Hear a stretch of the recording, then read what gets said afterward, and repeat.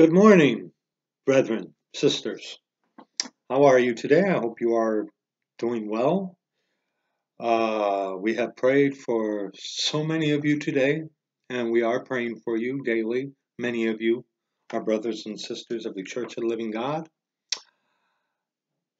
Please go ahead and get your authorized version of the Scriptures, the King James Scriptures, the true and real Scriptures. Today, once again, brethren, if you have one of these ribbon markers in your scriptures, you might want to use it. Today, we are going to be having a somewhat of an expository video looking at Luke chapter 5, specifically verses 33 on to verse 39 a brother of mine gave me the premise for this. And um, no verses, but just kind of mentioned it to him. And he passed it along on to me, and here we go. So, once again, this is a collaborated effort, um, not just not just something that the Lord showed me. Okay, but um, anyway, Please follow me along in your scriptures, the authorized version of the scriptures, the King James scriptures, the true and real scriptures. At the moment of recording this, I have no idea what I'm going to call this video. We'll, we'll, um, we'll figure that out as we go. But Luke chapter 5, verses 33 on to verse 39, okay?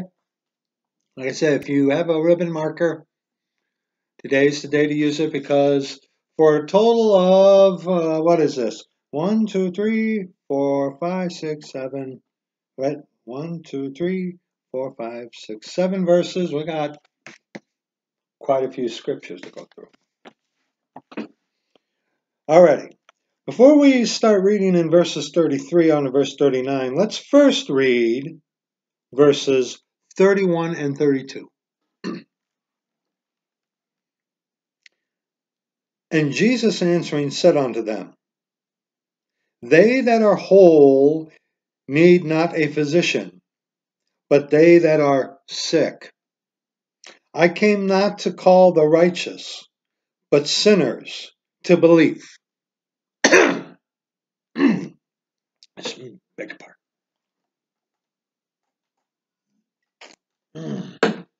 Uh, excuse me. I came not to call the righteous, but sinners to repentance.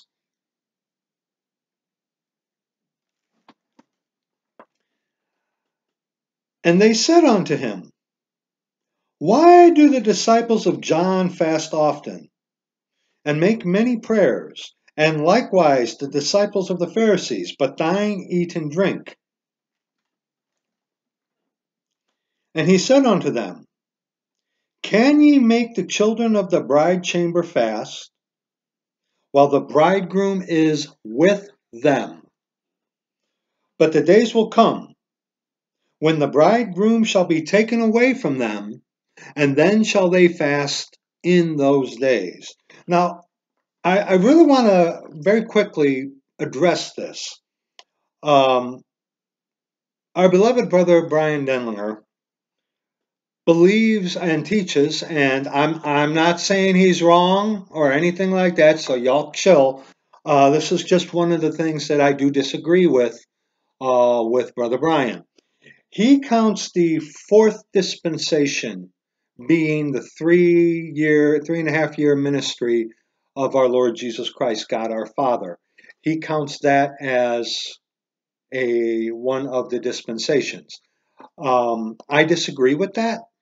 Uh, I believe and teach that there are seven dispensations, just like Brother Bryan, and so do many of those who are truly saved and born again of the Church of the Living God.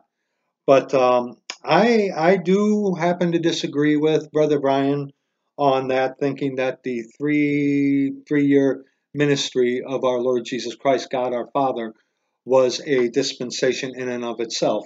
But I, I, I want to go through this really quickly. I, re- I really do. Go to Luke chapter 22. Luke chapter 22.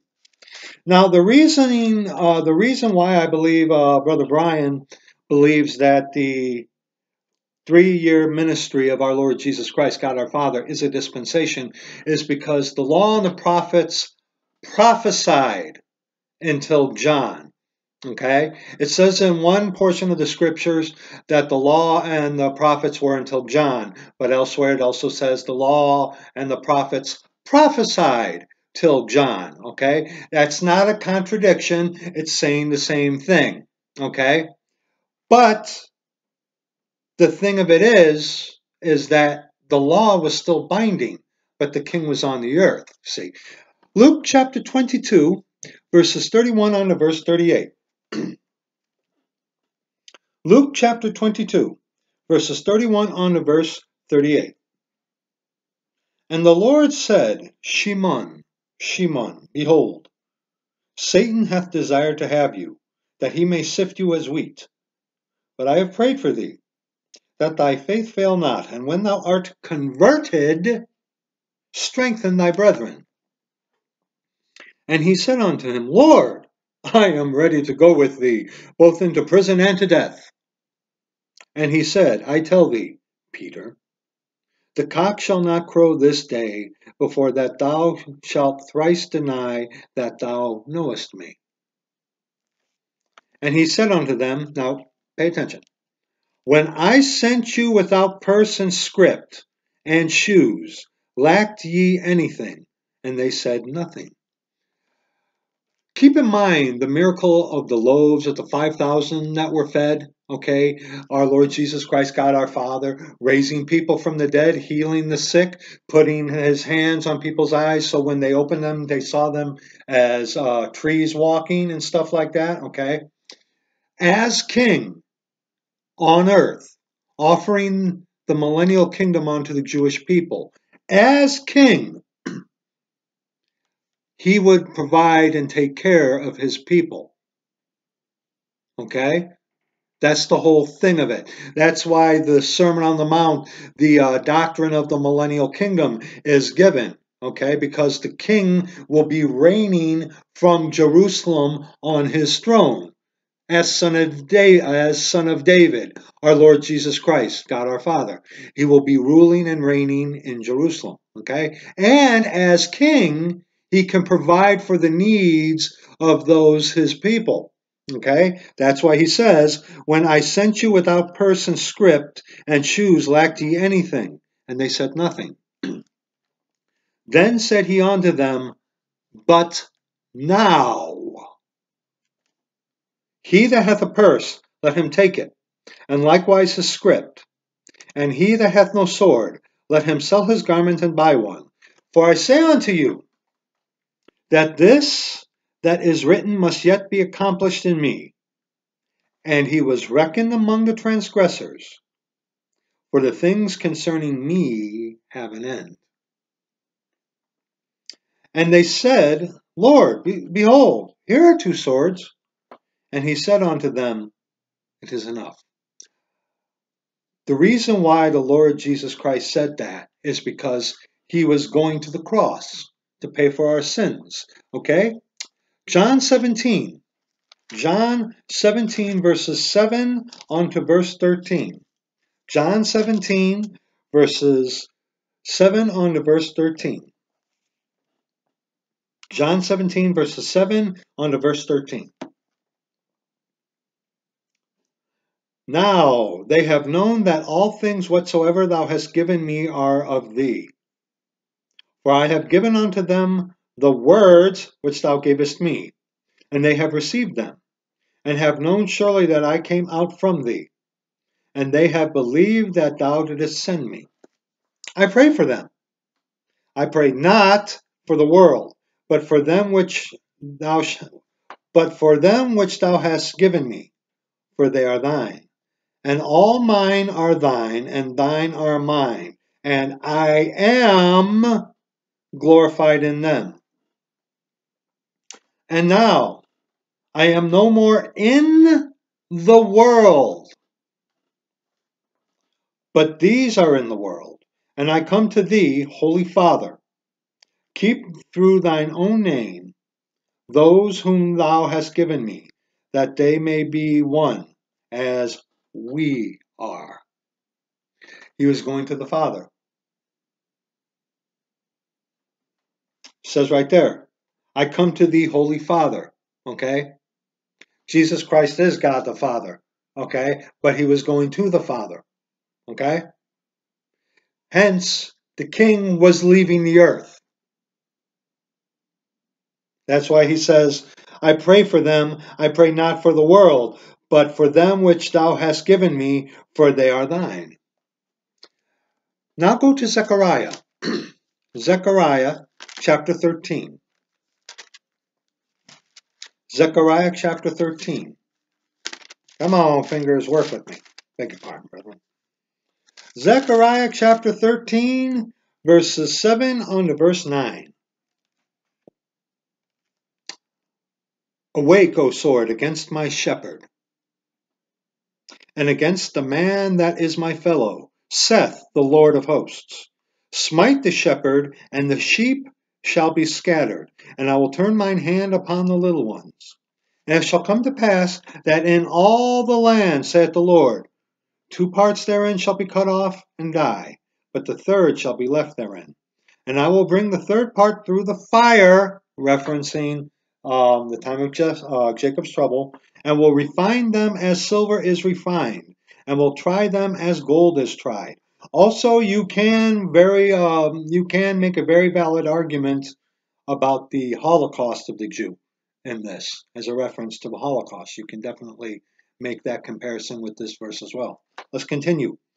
They shall call on my name, and I will hear them. I will say, It is my people. And they shall say, The Lord is my God. He was going to be cut off. He was going to the cross to pay for our sins. Okay? And as king on the earth, as king, he could provide for his own. And those who followed him as king were under what could what could have been right then and present if the Jewish people had uh, received him as their king, they were under the millennial rule. But Isaiah 53, Isaiah 53, Isaiah 53.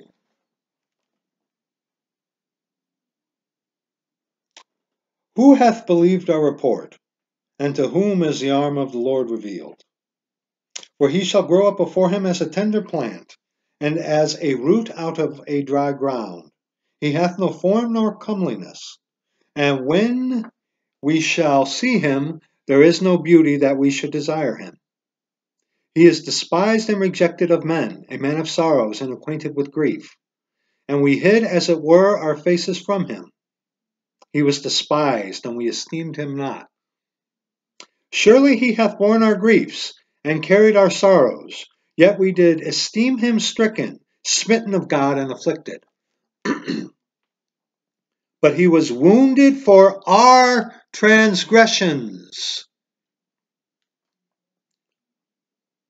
He was bruised for our iniquities. The chastisement of our peace was upon him, and with his stripes we are healed. All we, like sheep, have gone astray. We have turned every one to his own way, and the Lord hath laid on him the iniquity of us all. He was oppressed, and he was afflicted. Yet he opened not his, his mouth. He is brought as a lamb to the slaughter, and as a sheep before her shears is dumb, so he openeth not his mouth. He was taken from prison and from judgment. And who shall declare his generation? For he was cut off out of the land of the living. For the transgression of my people was he stricken. and he made his grave with the wicked, and with the rich in his death, because he had done no violence, neither was any deceit in his mouth. Yet it pleased the Lord to bruise him. He hath put him to grief. When thou shalt make his soul an offering for sin. Aha! An offering for sin. He shall see his seed. He shall, he shall see his seed, he shall prolong his days, and the pleasure of the Lord shall prosper in his hand. He shall see the travail of his soul, and shall be satisfied. By his knowledge shall my righteous servant justify many, the Son of David, King, our Lord Jesus Christ, God our Father. For he shall bear their iniquities. Therefore will I divide him a portion with the great, and he shall divide the spoil with the strong, because he hath poured out his soul unto death. And he was numbered with the transgressors, and he bare the sin of many, and made intercession for the transgressors. Why did we look at this? While the king was on the earth, he was offering the millennial kingdom onto the Jewish people. And those who were under him as king, who believed on him and received him as their king, the son of David, okay, they were under that rule. Okay? They were. Because the king fed 5,000 people. He raised the dead. He healed the sick. He gave sight to the blind. While he was with them, they lacked nothing. But now he was going up. he was going to the cross to make payment for the sins, to die on the cross. 1 Corinthians chapter 15, of course, 1 Corinthians chapter 15 verses 1 through 4. 1 Corinthians 15, verses 1 through 4. Moreover, brethren, I declare unto you the gospel which I preached unto you, which also ye have received, and wherein ye stand, by which also ye are saved, if ye keep in memory what I preached unto you, unless ye have believed in vain. For I delivered unto you first of all that which I also received, how that Christ died for our sins, according to the Scriptures, and that he was buried, and that he rose again the third day, according to the Scriptures. Okay? So, as king, like I said, he was offering the kingdom unto the Jewish people, and those who received him as their king were under him. And he was their king, obviously. But Israel rejected him as their king, which it was prophesied that it was going to be as such. Went to the uh, cross to pay for our sins. He died, buried, and rose again the third day, according to the scriptures. Hence, the time of the Gentiles, this dispensation came in after the death, burial, and resurrection of our Lord Jesus Christ. Okay, it was the death of the testator that brought in the New Testament. Okay? But the law was still binding even when the king was on the earth, because the king had yet to make the payment for our sins.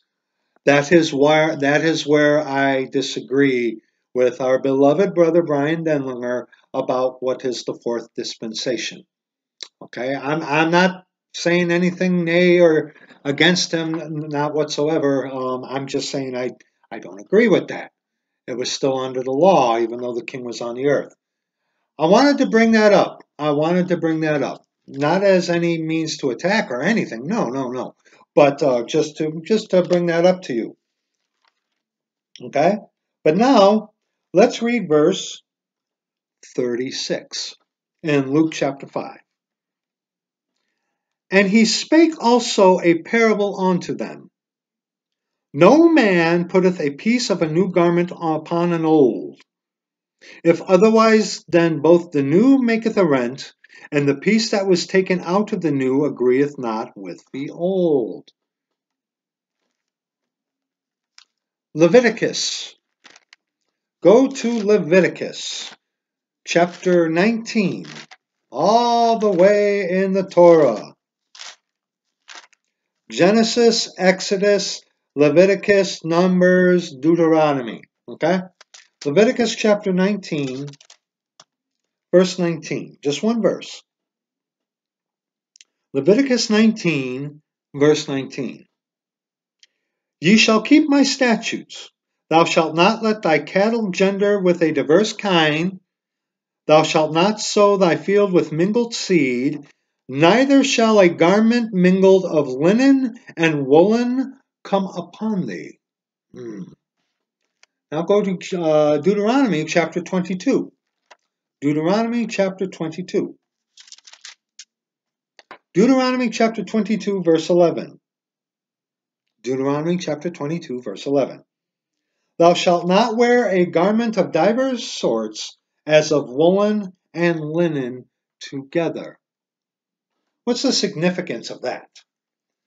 What is the significance of that? Well, think about it. Distinction and separation. Okay? Linen clothing, all right, is breathable. It's a little bit more uh, silky on you, a little bit more comfortable. Wool is very, very warm and thick. Very warm, very thick, causeth sweat. And if any of you have worn anything like woolen socks or a woolen jacket, once that gets wet, that's uh, apparently that's one of the reasons why the Norsemen used to make their sails out of wool. Apparently, because once they got wet, they could hold the wind a lot better. Okay, but but separation and differences between the two just like someone who truly has God living within them and one who does not, even though they claim that they do. The distinction, see? Distinction. Separation. Distinguishing between the two. God is a God of distinction, brethren. Gonna have to get over that, okay? Now, also, too, go to Zechariah. Zechariah chapter 3. Zechariah chapter 3, we will be reading verses 1 on to verse 5. Zechariah chapter 3, verses 1 on verse 5. And he shewed me Joshua the high priest standing before the angel of the Lord, and Satan standing at his right hand to resist him. And the Lord said unto Satan, The Lord rebuke thee, O Satan. Even the Lord that hath chosen Jerusalem rebuke thee. Is not this a brand plucked out of the fire? And for and when the Lord saves you by grace through faith, okay, you come to him through repentance, brokenness over yourself, turning from yourself, sorrow that you're a scumbag and that you deserve to go to hell. Sorrow and turning. Okay? Hmm. Is not this a brand plucked out of the fire when the Lord saves you? Amen. Let's continue. Now Joshua was clothed with filthy garments and stood before the angel. And he answered and spake unto those that stood before him, saying, Take away the filthy garments from him. And unto him he said, Behold, I have caused thine iniquity to pass from thee, and I will clothe thee with change of raiment. And I said, Let them set a fair mitre upon his head. So they set a fair mitre upon his head, and clothed him with garments. And the angel of the Lord stood by. When you get saved and born again, something's going to change around here. It's inevitable. It, it's going to happen. God the Father, our Lord Jesus Christ, lives within you. So don't do that. Don't look at that. Don't touch that. Don't eat that. What are you doing? Don't do that. Oh, you, you're gonna just you're not gonna obey me, huh? Huh? You're not gonna do what I tell you to do? Okay, fine. Go ahead and eat it. Oh, your stomach is upset. Oh, maybe you should have listened to me. You get it. You get it. The Lord is going to tell you and guide you into what He wants you to do. He will guide you into all truth, see. He doesn't force you. Neither does the devil. You got to remember that.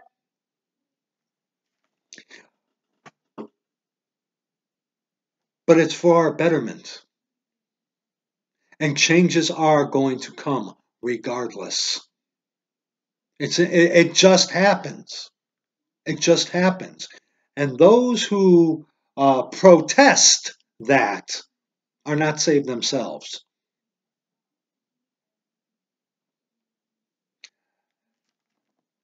Evidence of a changed life after salvation is a good way to judge, according to the scriptures, whether or not there is truly salvation in that individual whatsoever.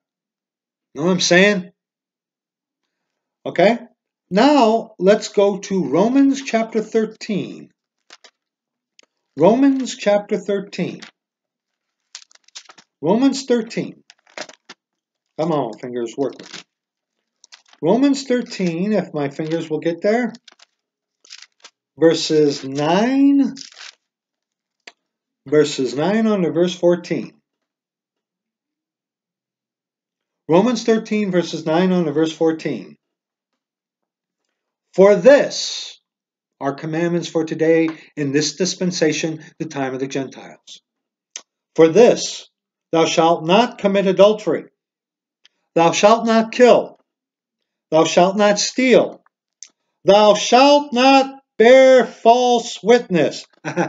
Any of you who uh, might see this, who read an NIV, NLT, ESV, NASB, whatever, um, in your Bible, in Romans 13, verse 9, does yours say, Thou shalt not bear false witness?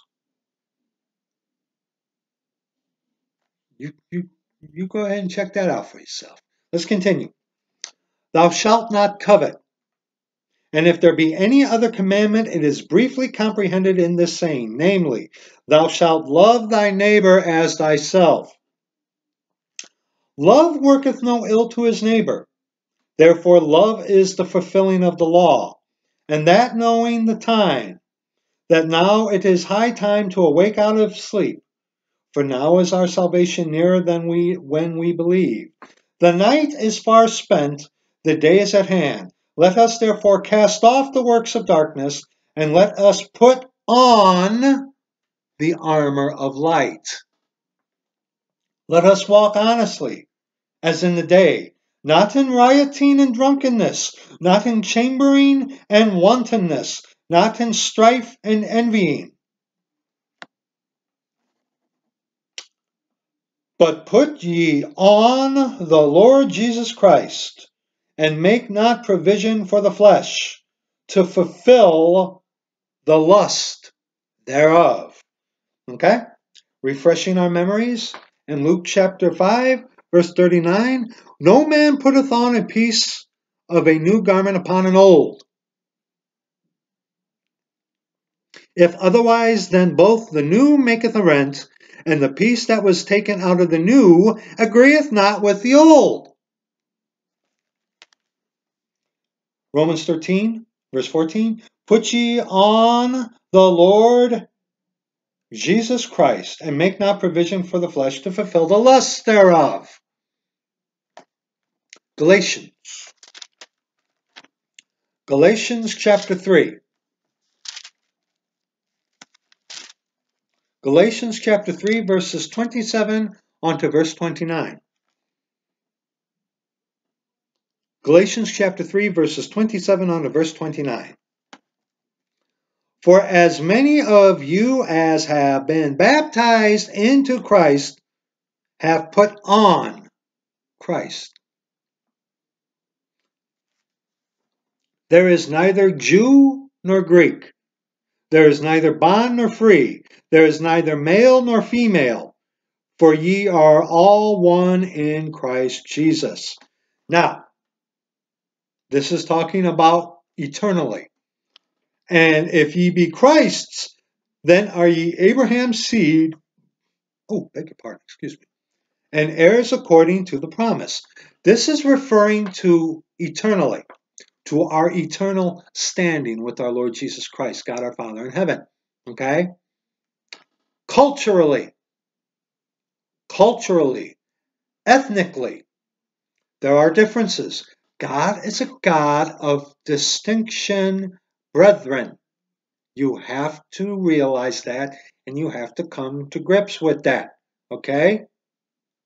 Our Lord Jesus Christ, God our Father, likes variety. Okay? Eternally, salvifically, as I used to say. Eternally. There's neither Jew nor Greek. There is neither bond nor free. There is neither male nor female. For ye are all one in Christ Jesus. Are there not Jews and Greeks today? A Greek is a, is a Gentile and non-Jew, okay? Um, are there bond and free today? Hmm? Uh, despite these grotesque transgendery whatevers, uh, there are male and female, okay? For ye are all one in Christ Jesus, eternally. Culturally, ethnically, there's a difference. Yes. Distinction. Yes. God is God of distinction. Okay. This is talking about eternally. All right. Let's continue. Go to First Peter. First Peter chapter 5. First Peter chapter 5. First Peter chapter 5. And while we're here, Let's refresh our memory in Luke chapter 5, verse 36. And he spake unto, and he spake also a parable unto them. No man putteth a piece of a new garment upon an old. If otherwise, then both the new maketh a rent, and the piece that was taken out of the new agreeth not with the old. 1 Peter chapter 5, verses 1 on to verse 11.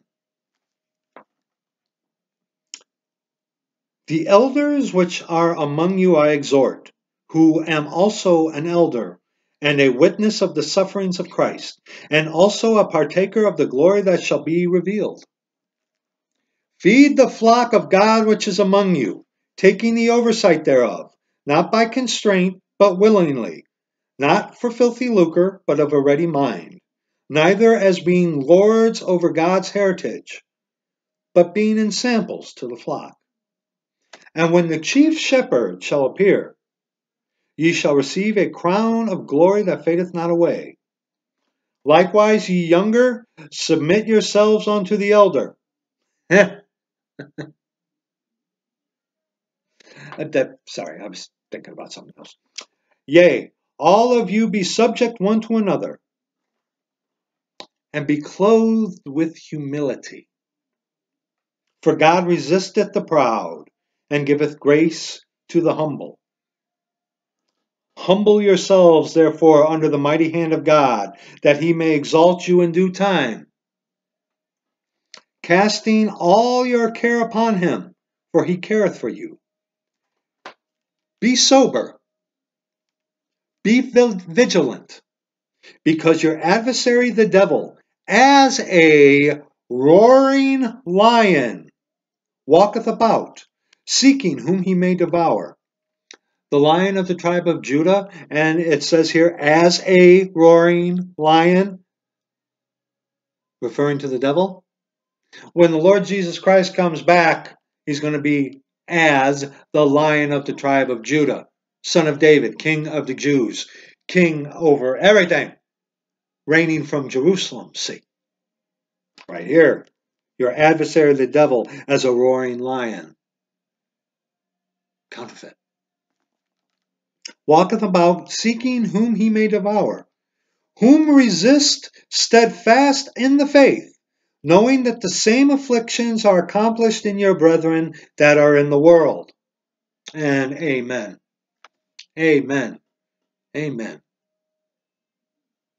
Those of us of the Church of the Living God are suffering, whether it's physical ailments, spiritual attacks, attacks by twits here on uh, YouTube and other platforms, okay?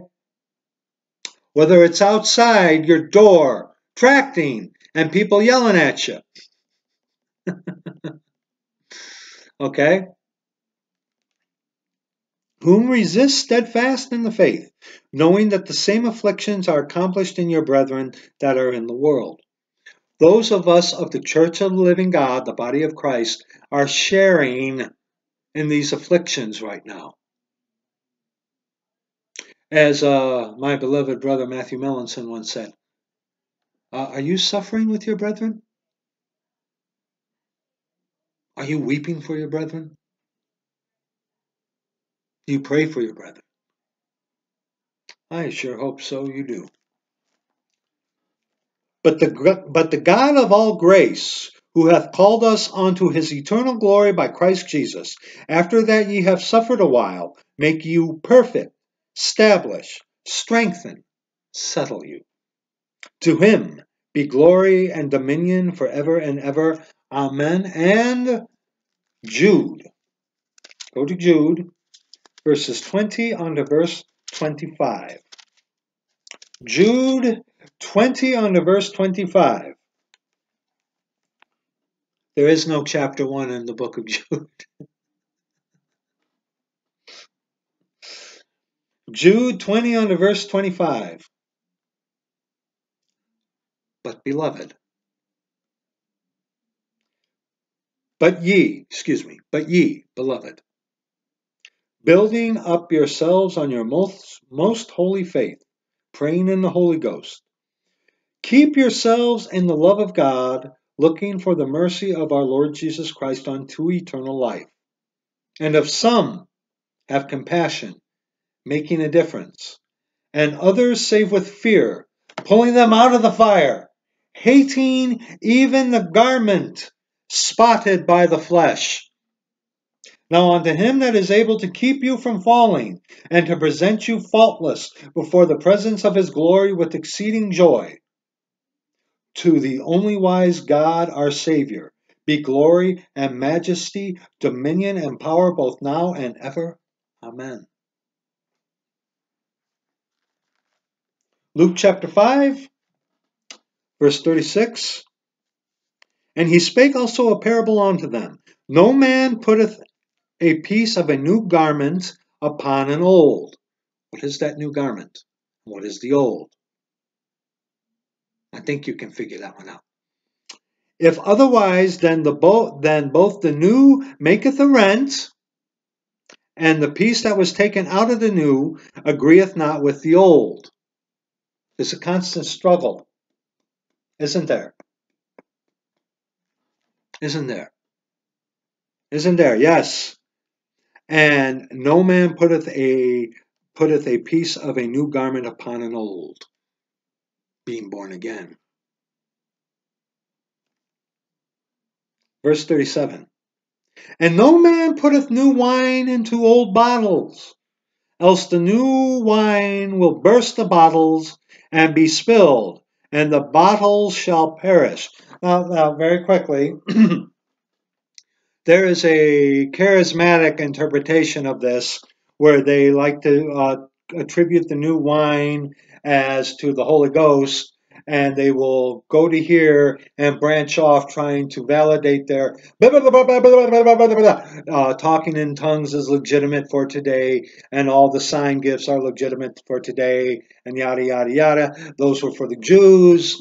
They're not here for us today.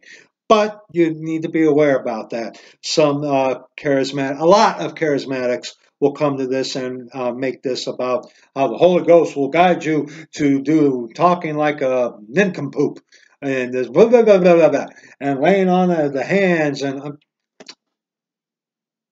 nonsense.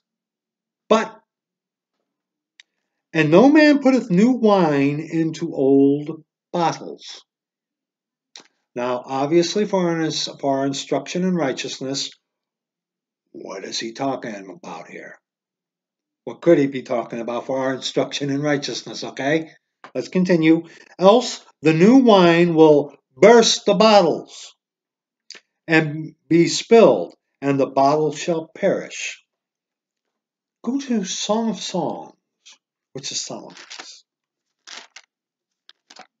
Song of Songs which is Solomon's. You read that book? Huh? It's the sixth today, you know.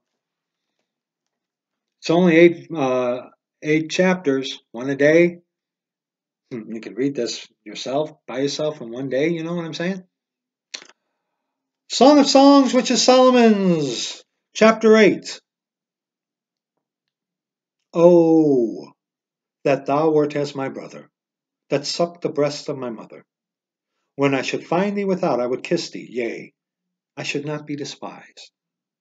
I would lead thee and bring thee into my mother's house, who would instruct me. I would cause thee to drink of spiced wine, of the juice of my pomegranate. His left hand should be under my head, and his right hand should embrace me. Eh, should embrace me. I charge, I charge you, O daughters of Jerusalem, that ye stir not up nor awake my love until he please. You got a Bible that is not the scriptures, the authorized version of the scriptures? Tell me, does your he right there say she in your Bible that is not the authorized version of the scriptures? Mm. Let's continue. Who is this that cometh up from the wilderness, leaning upon her beloved? I raised thee up under the apple tree. There thy mother brought thee forth. There she brought thee forth that bare thee. Set me as a seal upon thine heart, as a seal upon thine arm. For love is strong as death, jealousy is cruel as the grave. The coals thereof are coals of fire, which hath a most vehement flame. Many waters cannot quench love, neither can the floods drown it. If a man would give all the substance of his house for love, it would utterly be condemned, com, uh, contemned. Excuse me.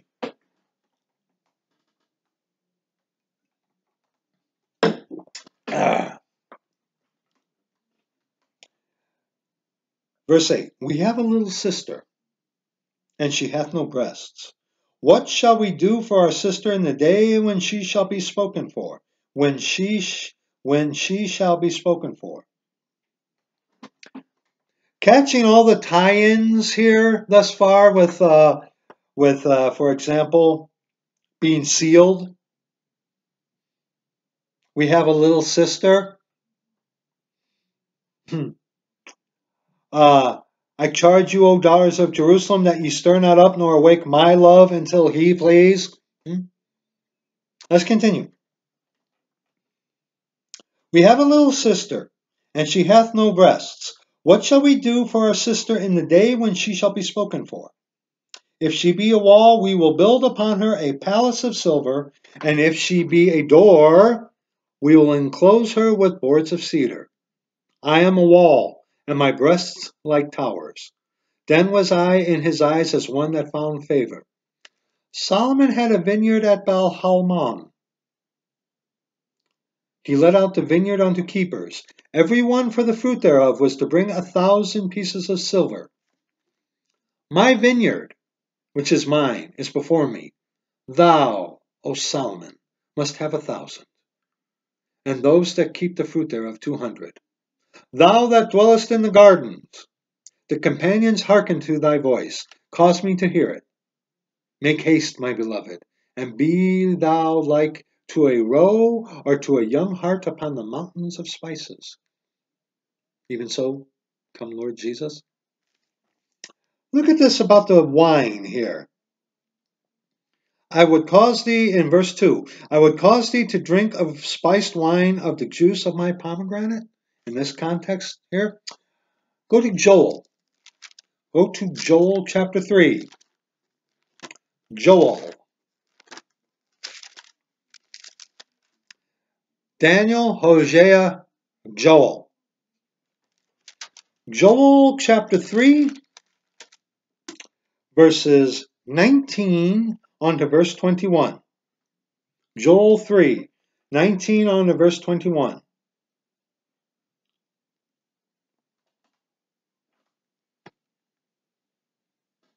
Egypt, ah, you know what? Let's make that 18. Verses 18 on to verse 21. Beg your pardon. 18 on verse 21.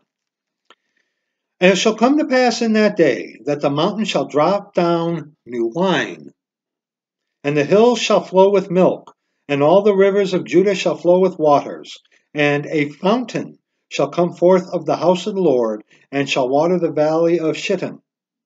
Egypt shall be a desolation, and Edom shall be a desolate wilderness, for the violence against the children of Judah, because they have shed innocent blood in their land. But Judah shall dwell forever, and Jerusalem from generation to generation. For I will cleanse their blood that I have not cleansed, for the Lord dwelleth in Zion. Future fulfillment coming in the future uh, of the restoration of the children of Israel, the Jews. Yes, absolutely. But, but, flowing with new wine. Notice that? And 21, For I will cleanse their blood that I have not cleansed, for the Lord dwelleth in Zion. And Amos chapter 9. Amos chapter 9. One of the clearest clearest portions of scripture that talk of a future restoration of the children of Israel after the time of Jacob's trouble. The one of the clearest in the Old Testament. Amos chapter 9 verses 11 on to verse 15.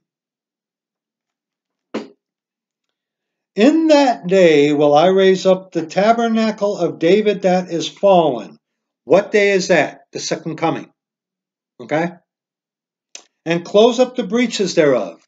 And I will raise up his ruins, and will build it as in the days of old, that they may possess the remnant of Edom, and all the heathen which are called by my name. Saith the Lord that doeth this. Behold, the days come, saith the Lord, that the plowman shall overtake the reaper, and the treader of grapes him that soweth seed. And the mountain shall drop sweet wine, and the hills shall melt. And I will bring again the captivity of my people Israel. and they shall build the waste cities, and inhabit them. And they shall plant, and they shall plant vineyards, and drink the wine thereof. They shall also make gardens, and eat the fruit of them. And I will plant them upon their land and they shall no more be pulled up out of the land out of their land which I have given them, saith the, the saith the Lord thy God. Future uh, fulfillment for the children of Israel. When our Lord Jesus Christ, God our Father, come down with us, the church of the living God, his bride, come down, okay, to rule and reign from Jerusalem. Okay? Now go to Ephesians. But before we go that do that, verse 37 in Luke chapter 5. And no man putteth new wine into old bottles, else the new wine will burst the bottles and be spilled, and the bottles shall perish. Ephesians chapter 5. Ephesians chapter 5.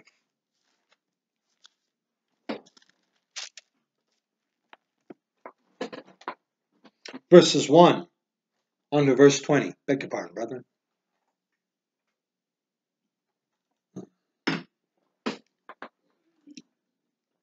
Don't have room on my table. Be ye therefore followers of God as dear children, and walk in love as Christ also hath loved us, and hath given himself for us, an offering and a sacrifice to God for a sweet smelling savor. But fornication and all uncleanness or covetousness, let it not be once named among you as becometh saints. You're saved, born again of the church of the living God. Today, you are a saint.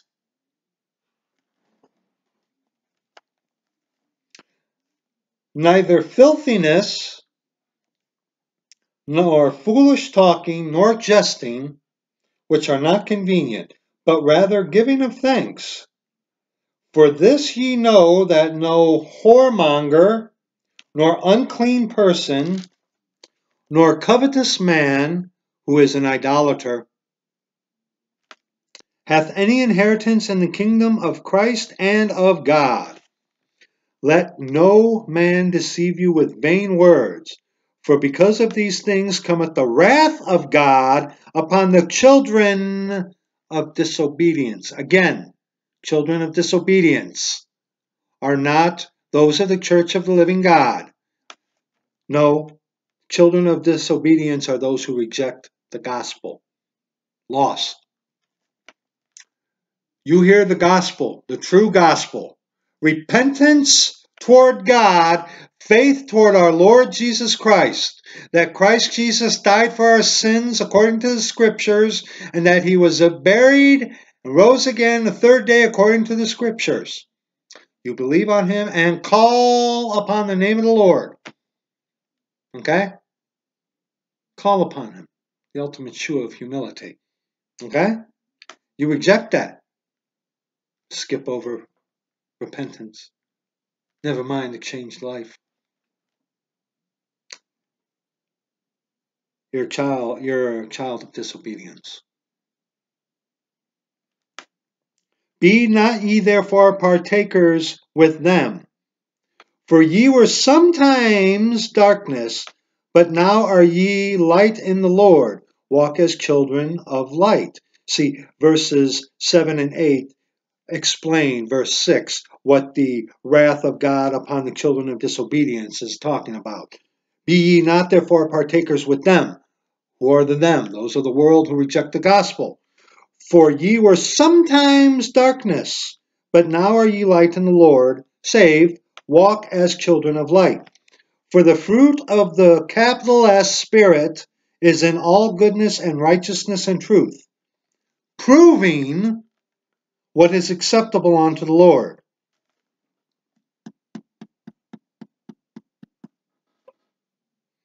And have no fellowship with the unfruitful works of darkness, but rather reprove them. For it is a shame even to speak of those things which are done of them in secret. But all things that are reproved are made manifest by the light.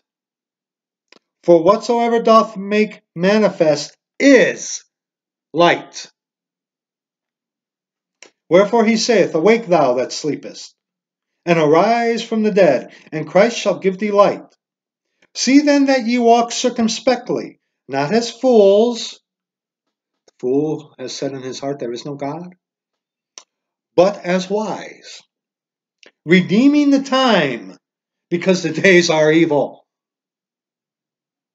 Wherefore be ye not unwise, but understanding what the will of the Lord is, and be not drunk with wine, wherein is excess, but be filled with the Spirit,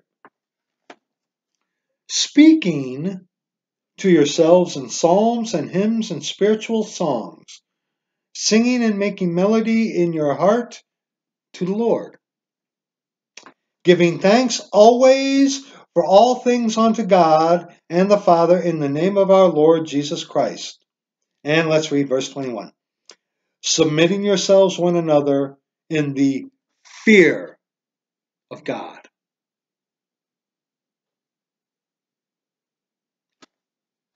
Distinction.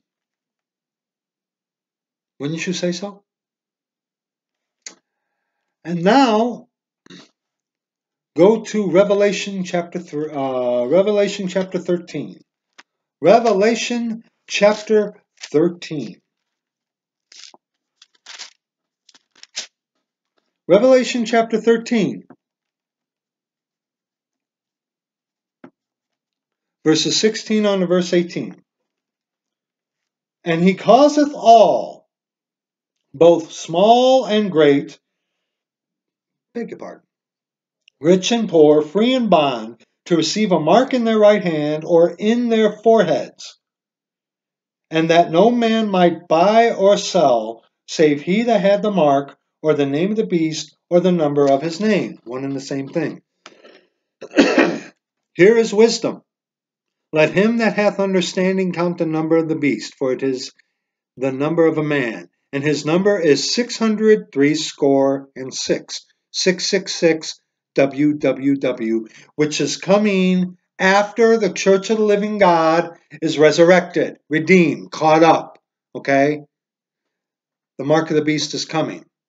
The technology is already for it around right now, yes, but it is coming after we are uh, resurrected, redeemed. Okay?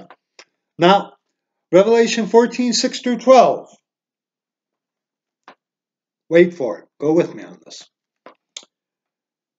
And I saw another angel fly in the midst of heaven. Uh, Revelation 14, 6 through 12.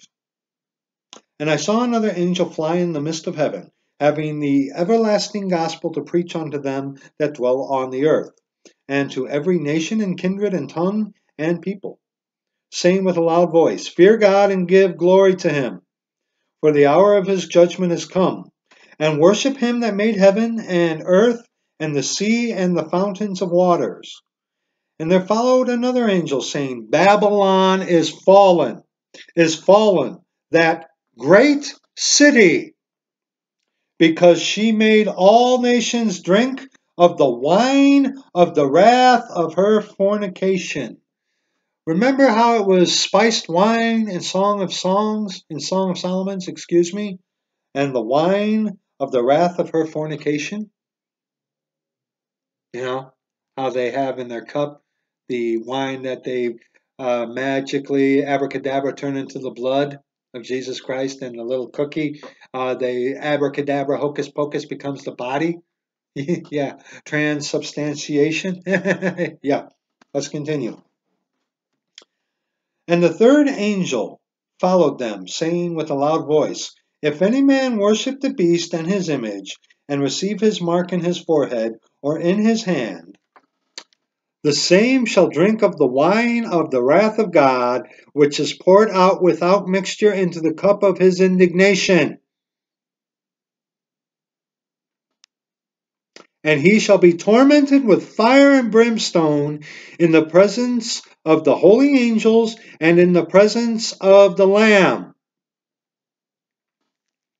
And the smoke of their torment ascendeth up for ever and ever, and they have no rest day nor night, who worship the beast and his image, and whosoever whosoever receiveth the mark of his name.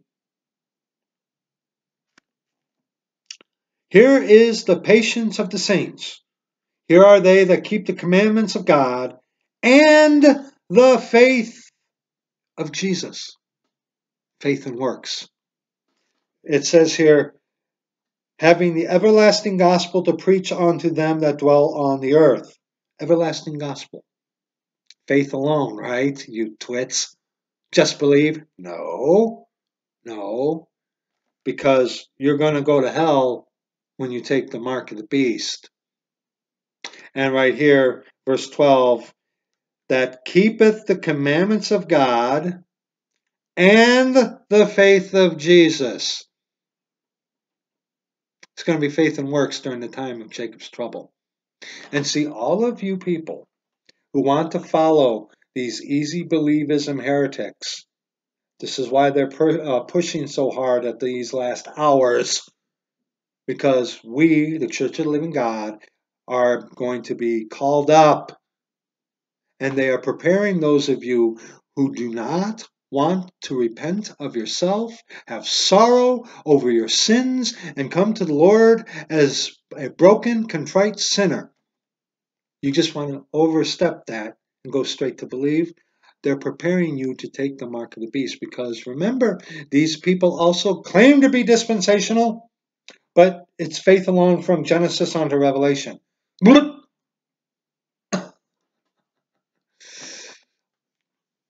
Yeah, yeah. This is why they're doing it, brethren. And those of you lost people, this is what their goal is. After we, the Church of the Living God, are resurrected, they're conditioning those of you who call yourselves Christians. They're conditioning you to take the mark of the beast during the time of Jacob's trouble. It's just believe. It's just believe. Oh, the works, the commandments of God are objects of faith.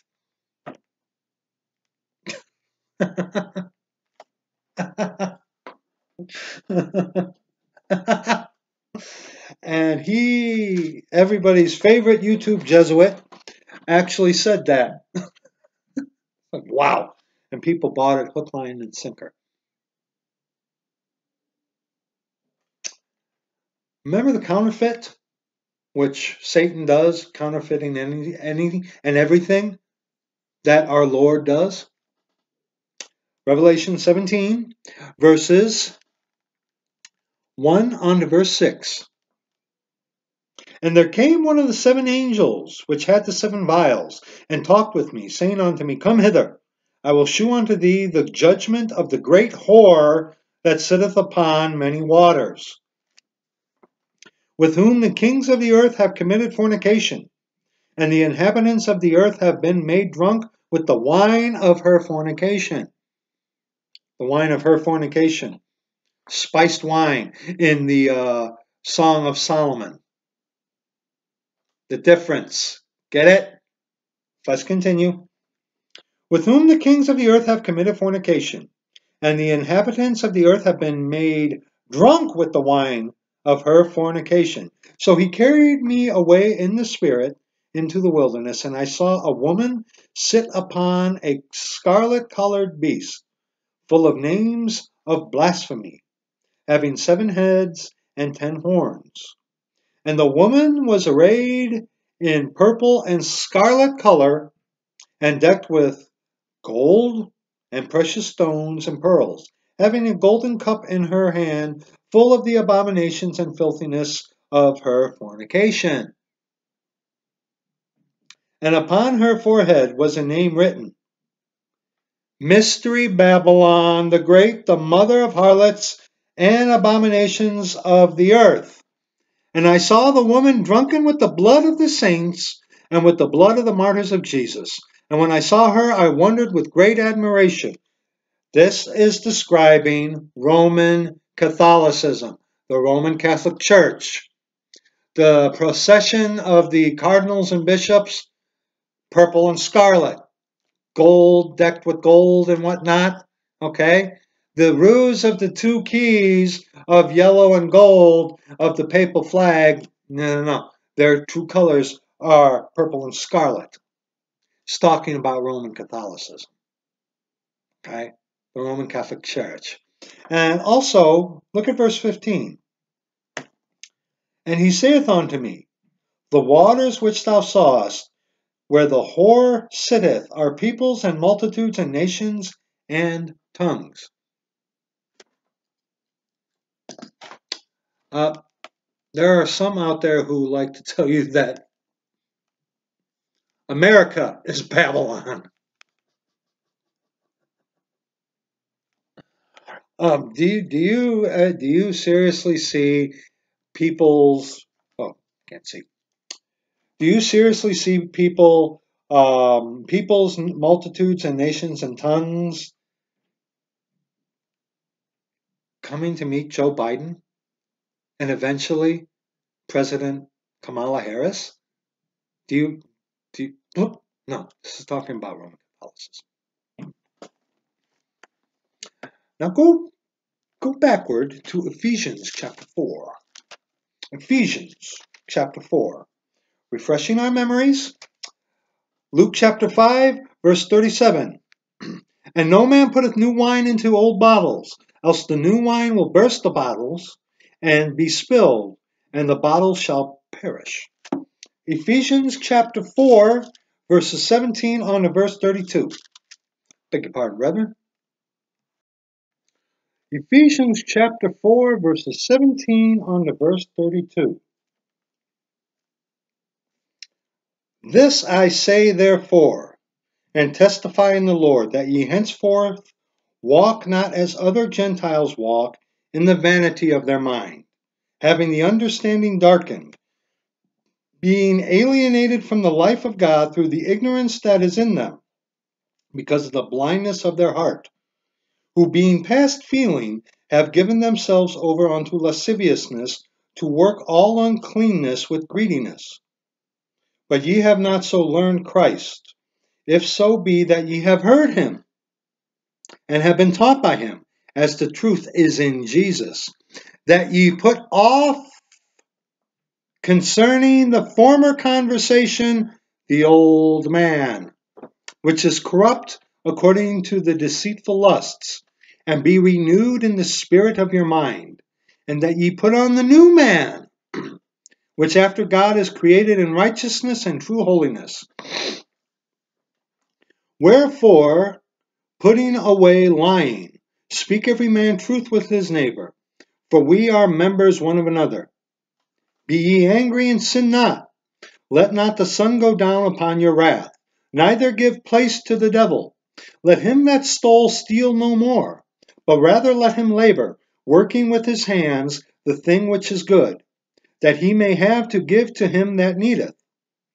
Let no corrupt communication proceed out of your mouth. A dead giveaway. A dead giveaway of an infiltrator, a false, lost heretic. Let no corrupt communication proceed out of your mouth, but that which is good to the use of edifying, that it may minister grace unto the hearers. And grieve not the Holy Spirit of God, whereby ye are sealed unto the day of redemption. Let all bitterness and wrath and anger and clamor and evil speaking be put away from you with all malice and be ye kind one to another, tender-hearted, forgiving one another, even as God for Christ's sake hath forgiven you. Bitterness, wrath, anger, clamor, evil speaking. Now, yes, someone of the Church of the Living God can commit all of those. Yes. But see, for who the Lord loveth, he rebukes and chasteneth. Be zealous, therefore, and repent. Okay? You, as the church of the living God, you do any of those things, the Lord is going to chasten you. And if you have not chastisement, then scripture calls you a bastard. And a bastard is someone who does not know who his father is. Okay? Now 2 Corinthians chapter 5.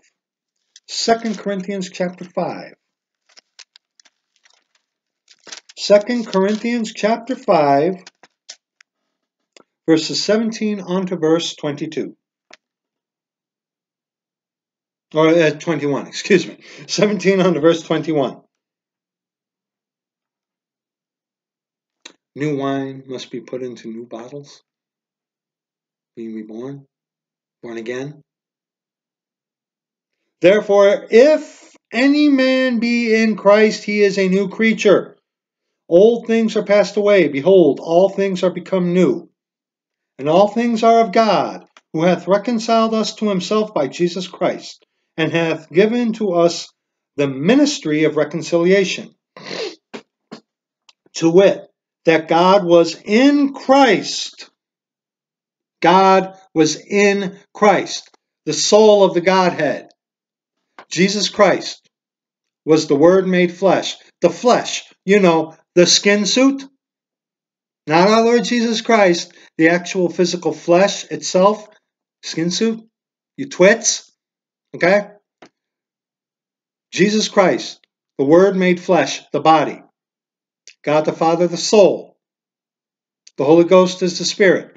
Spirit, soul, and body. Okay? Let's continue. To wit, God was in Christ, reconciling the world unto himself, not imputing their trespasses unto them, and hath committed unto us the word of reconciliation. Now then, we are ambassadors for Christ, as though God did beseech you by us. We pray you in Christ's stead, be ye reconciled to God. For he hath made him to be sin for us, who knew no sin, that we might be made the righteousness of God in him, imputed righteousness of Jesus Christ. Something that not one of these wicked lost devils know anything about. They know nothing about it. Only up here, not down here. Okay? Romans chapter 12. Romans chapter 12. Romans chapter 12, I beseech you, verses 1 and 2. I beseech you, therefore, brethren, by the mercies of God, that ye present your bodies a living sacrifice, holy, acceptable unto God, which is your reasonable service. and be not conformed to this world, but be ye transformed by the renewing of your mind, that ye may prove what is that good and acceptable and perfect will of God. Luke chapter 8. Luke chapter 8. Luke chapter 8, verses 11 on to verse 18.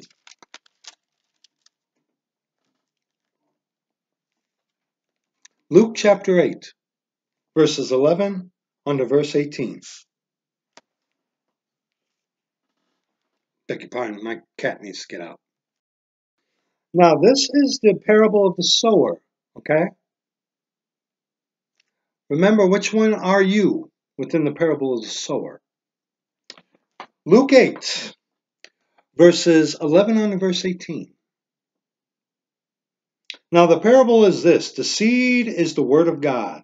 Those by the wayside are they that hear, that then cometh the devil and taketh away the word out of their hearts, lest they should believe and be saved. They on the rock are they which, when they hear, receive the word with joy. And these have no root, root, which for a while believe, and in time of temptation fall away. And that which fell among thorns are they, which when they have heard go forth, and are choked with cares and riches and pleasures of this life, and bring no fruit to perfection. But they that are on good ground, on the good ground, are they which in an honest and good heart, having heard the word, keep it, and bring forth fruit with patience. No man when he hath lighted a candle, covereth it with a vessel, or putteth it under a bed, but setteth it on a candlestick, that they which enter in might see the light. For nothing is secret that shall not be made manifest, neither anything hid that shall not be known and come abroad. Take heed therefore how ye hear. For whosoever hath, to him shall be given, and whosoever hath not, from him shall be taken even that which he seemeth to have. You have the Lord Jesus Christ, God our Father, dwelling within you, and the Lord is that Spirit, you know, the Holy Ghost. You have the Scriptures, the Spirit of truth. He shall guide you into all truth and he will, will reveal things to you through the scriptures. But those who say that they are Christians and can do nothing but attack cannot refute scriptures with scriptures. They cannot refute when you speak from the scriptures, but nitpick little things to attack your person, spirit, soul, and body. Yeah, that's all they got. That's all they can do. And whosoever hath not, from him shall be taken even that which he seemeth to have.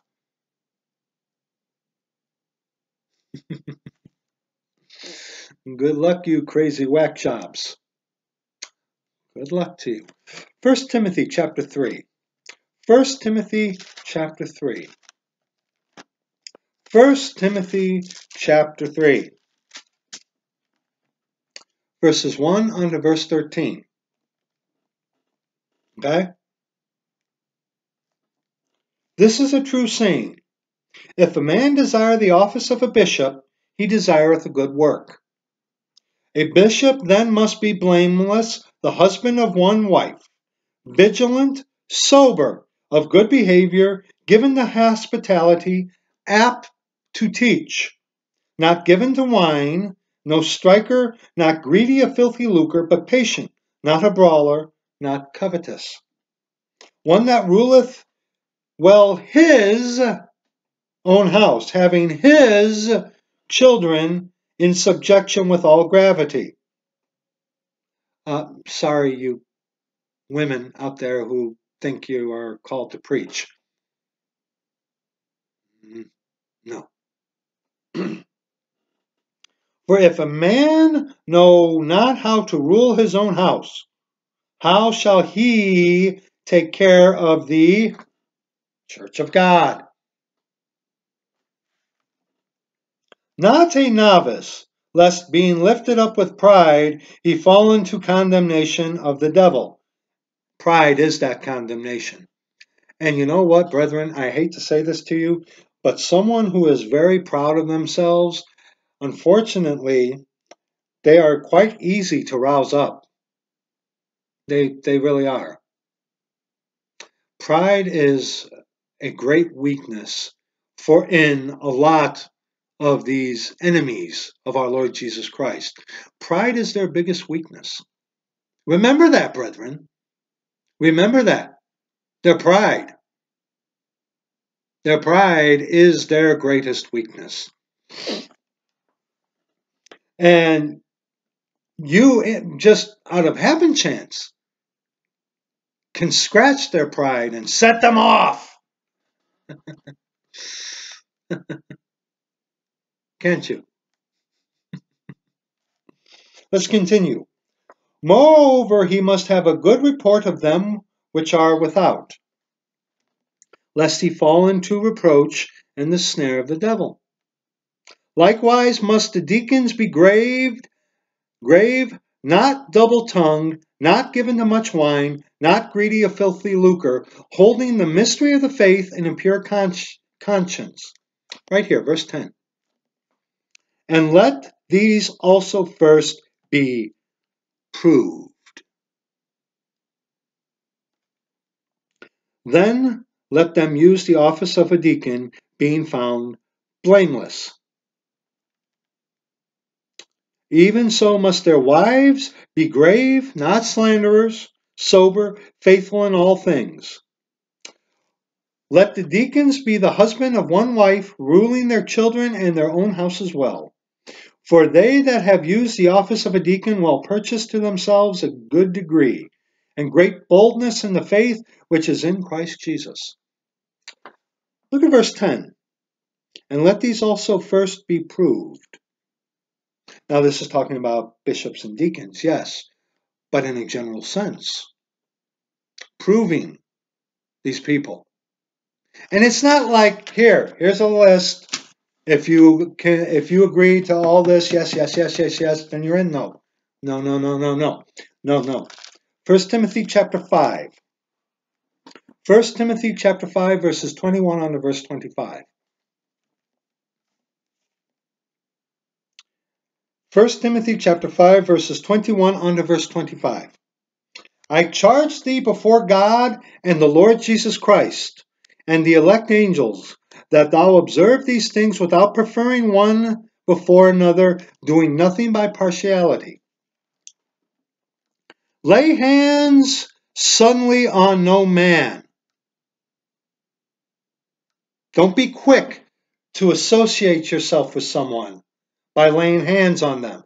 The laying on of hands was an imparting, and you see it done in a lot, a lot in the book of Acts. But when you lay hands on someone, you are imparting something. Uh, you are, you know, having fellowship. If I come up to you and put my hand on your shoulder, okay, you and me are connected as brethren, okay, as brethren. We're sharing with one another, okay. Lay hands suddenly on no man. And unfortunately, I have made this mistake of calling people brother who should uh, who are no wise my brother. Okay, let's continue. Neither be partaker of other men's sins. Keep thyself pure. Don't be partner with a thief. Don't be partner with someone who is walking in sin, who refuses to repent, who justifies their sin. Stay away from those types of people. Keep thyself pure. Because remember, lay hands suddenly on no man? You're laying hands on someone and they be in sin, guess what? That's going to rub off on you. And you're going to be defiled. Drink no longer water, but use a little wine for thy stomach's sake and thine often infirmities.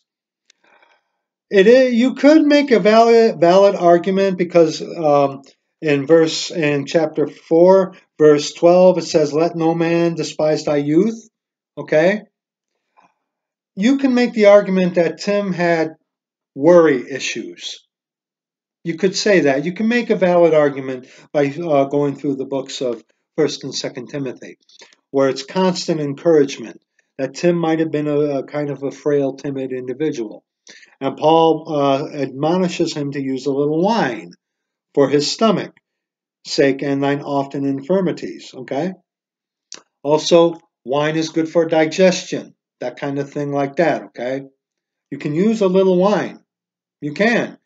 Don't be drunk, which is excess. Okay? There is nothing wrong, wrong with using a little wine. Okay? There is nothing wrong with it. It's when you start getting snookered, then you're in sin. Okay? But, right here, verse 24 and 25. Some men's sins are open beforehand. There are some out there who call themselves Christians who are painfully obvious that they are no way part of the church of the living God. You know, an example Todd White, Kenneth Copeland, TJ Fakes, Phil Robinson, Joel Osteen. Okay? Guys like that. They call themselves Christians, but you just slightly uh, judge them according to the scriptures. You're like, yeah, yeah, you're saved, huh? Yeah, you're a church of the living God, huh? Yeah, right, right, right. Some men's sins are open beforehand, going before to judgment, and some men they follow after. Some men they follow after. Now, going before the judgment, of course, referring to secrecy, that these evil men um, keep these things secret. But going before the judgment, we are to judge according to the scriptures. Okay? You are to judge me according to the scriptures. I am to judge you according to the scriptures. And uh, those who are of the church of the living God. Okay? We are to judge one another according to the scriptures, not our feelings. Okay? But some of these people who infiltrate, and some men they follow after, it takes time. It takes time. Like I said, some are like painfully obvious, and some it takes, you know, takes time. It takes time. Verse 25 Likewise, also the good works of some are manifest beforehand, and they that are otherwise cannot be hid.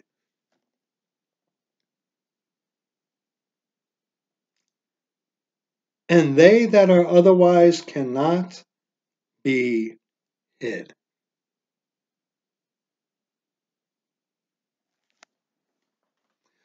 There are those out there who can do the good works. Oh, absolutely. And they that are otherwise cannot be hid. What is the motivation of these good works? Hmm? Is it a love for our Lord Jesus Christ, God our Father, fear of him, knowing therefore the terror of the Lord, we persuade men? Or is it just to make yourself look good? See what I'm saying? First Thessalonians chapter 5. First Thessalonians chapter 5. 1 Thessalonians chapter 5, verses 12 on to verse 23. We beseech you, brethren, to know them which labor among you, and are over you in the Lord and admonish you, and to esteem them very highly in love for their work's sake, and be at peace among yourselves. Now we exhort you, brethren, warn them that are unruly, comfort the feeble minded, support the weak, be patient toward all men. See that none render evil for evil unto any man. What is it, 125? You're not going to make it this far. If you do, it's um, going to have to do better than that to send your little um, boy toy to do your dirty work. Just have to say this to you. You're going to have to do something a little bit different than sending your little boy toy from Canada. Okay? Hmm. Sorry, sorry. Let's get back to more important matters. But ever follow that which is good, both among yourselves and to all men. Rejoice evermore. Pray without ceasing. In everything, give thanks, for this is the will of God in Christ Jesus concerning you. Quench not the spirit, despise not prophesying. Prove all things, hold fast that which is good. Prove all things.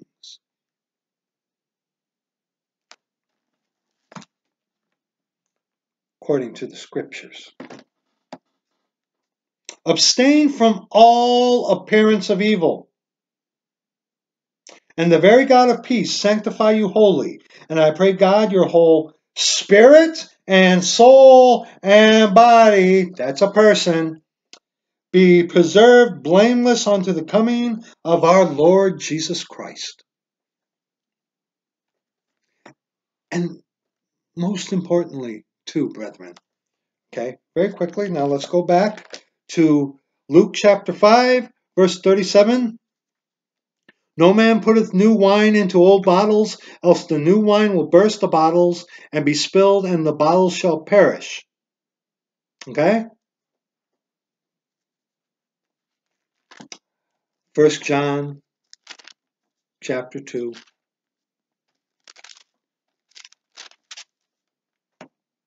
Verse 19. They went out from us, but they were not of us. For if they had been of us, they would no doubt have continued with us. But they went out that they might be made manifest that they were not all of us. We see you. Like that uh, wonderful video that uh, Brother and uh, Inerrantist did. Wonderful video. Verse 38 in Luke chapter 5. But new wine must be put into new bottles, and both are preserved. New wine must be put into new bottles, and both are preserved. John 10. John 10. Verses 1 on to verse 16. Verily, verily, I say unto you, he that entereth not by the door into the sheepfold, but climbeth up some other way, the same is a thief and a robber. Every single easy believism heretic out there is this. Okay? They go up some other way. They don't want to go through the door. Okay? But he that entereth in by the door is the shepherd of the sheep. Our Lord Jesus Christ, God our Father, is the door. Okay, let's continue. To him the porter openeth, and the sheep hear his voice, and he calleth his own sheep by name, and leadeth them out. And when he putteth forth his own sheep, he goeth before them, and the sheep follow him, for they know his voice.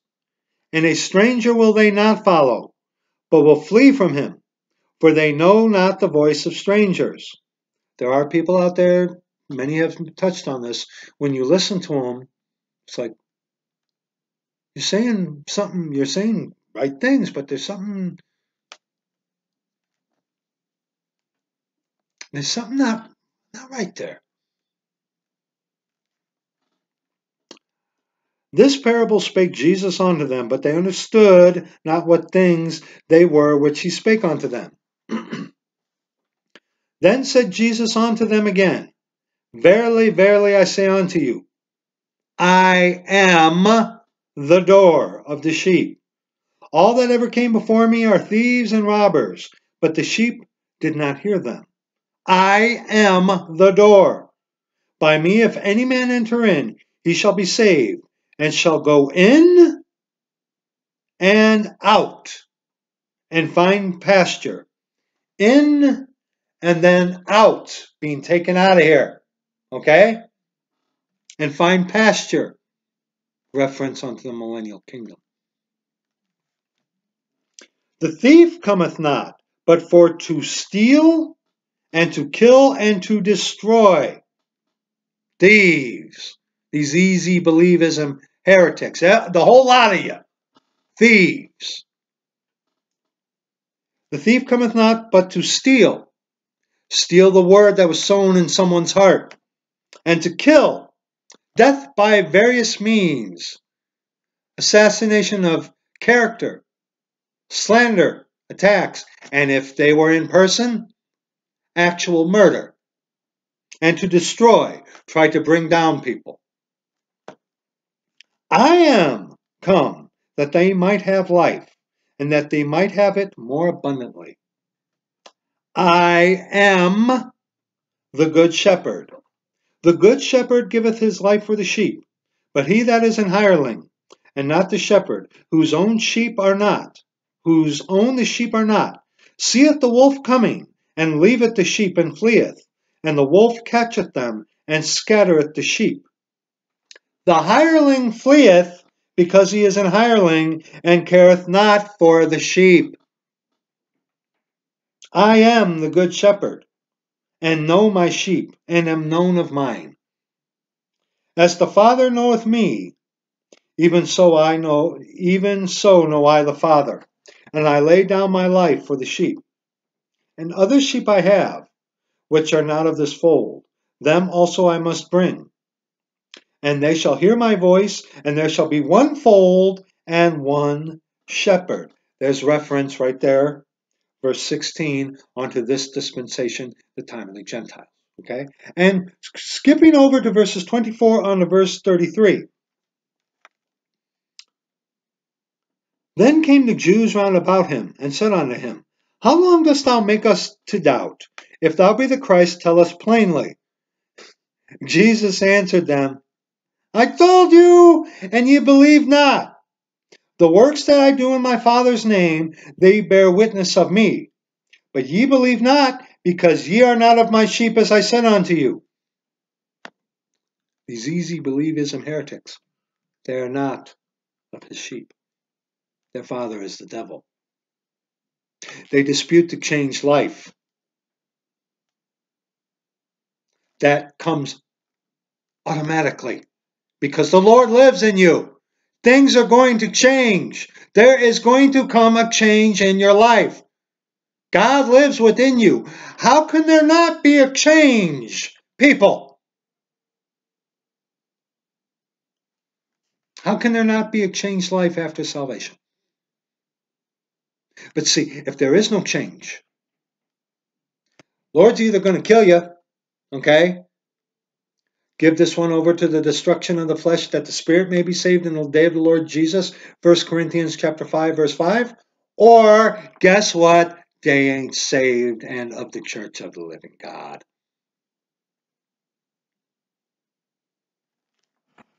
Let's continue. My sheep hear my voice, and I know them, and they follow me.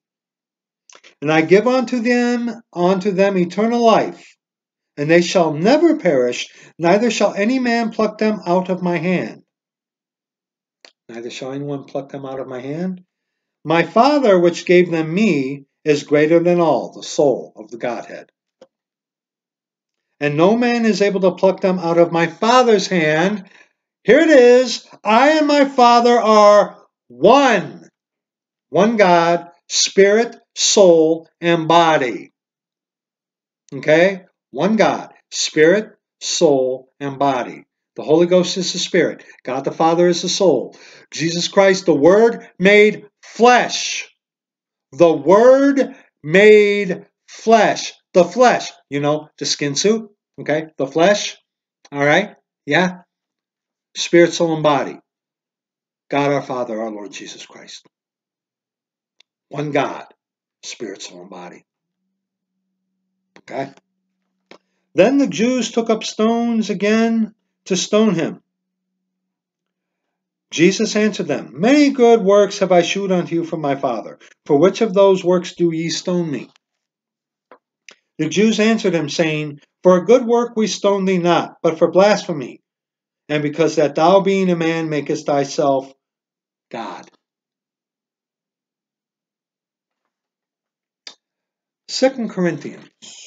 Now, Second Corinthians, chapter 5 again. Second Corinthians. Uh-oh, uh-oh. Second Corinthians chapter 5, once again. Come on, fingers, work with me. Second Corinthians 5, verses 1 on to verse 8. For we know that if our earthly house of this tabernacle were dissolved, we have a building of God in an house not made with hands, eternal in the heavens. For in this we groan, earnestly desiring to be clothed upon with our house which is from heaven, our uncorruptible body.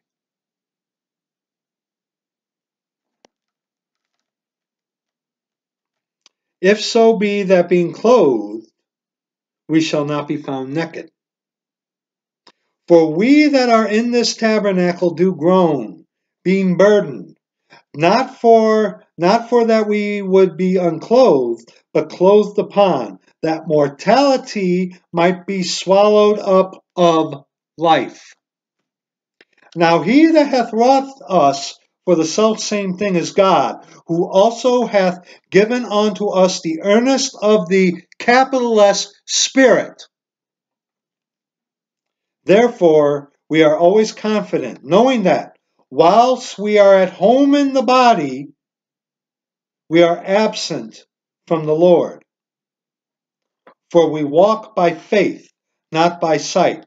We are confident, I say, and willing rather to be absent from the body and be present with the Lord. Preserved. Go back to Luke chapter 5, verse 38. But new wine must be put into new bottles, and both are preserved. 1 Corinthians 2. 1 Corinthians chapter 2, verses 10 on to verse 16. But God hath revealed them unto us by his Spirit. For the Spirit searcheth all things, yea, the deep things of God. For what man knoweth the things of a man save the Spirit of man which is in him? Note the lowercase s of the Spirit of man. Even so, the things of God knoweth no man but the capital S Spirit of God. Now we have received not the lowercase s Spirit of the world, but the Spirit which is of God lowercase s again, given unto us, that we might know the things that are freely given to us of God.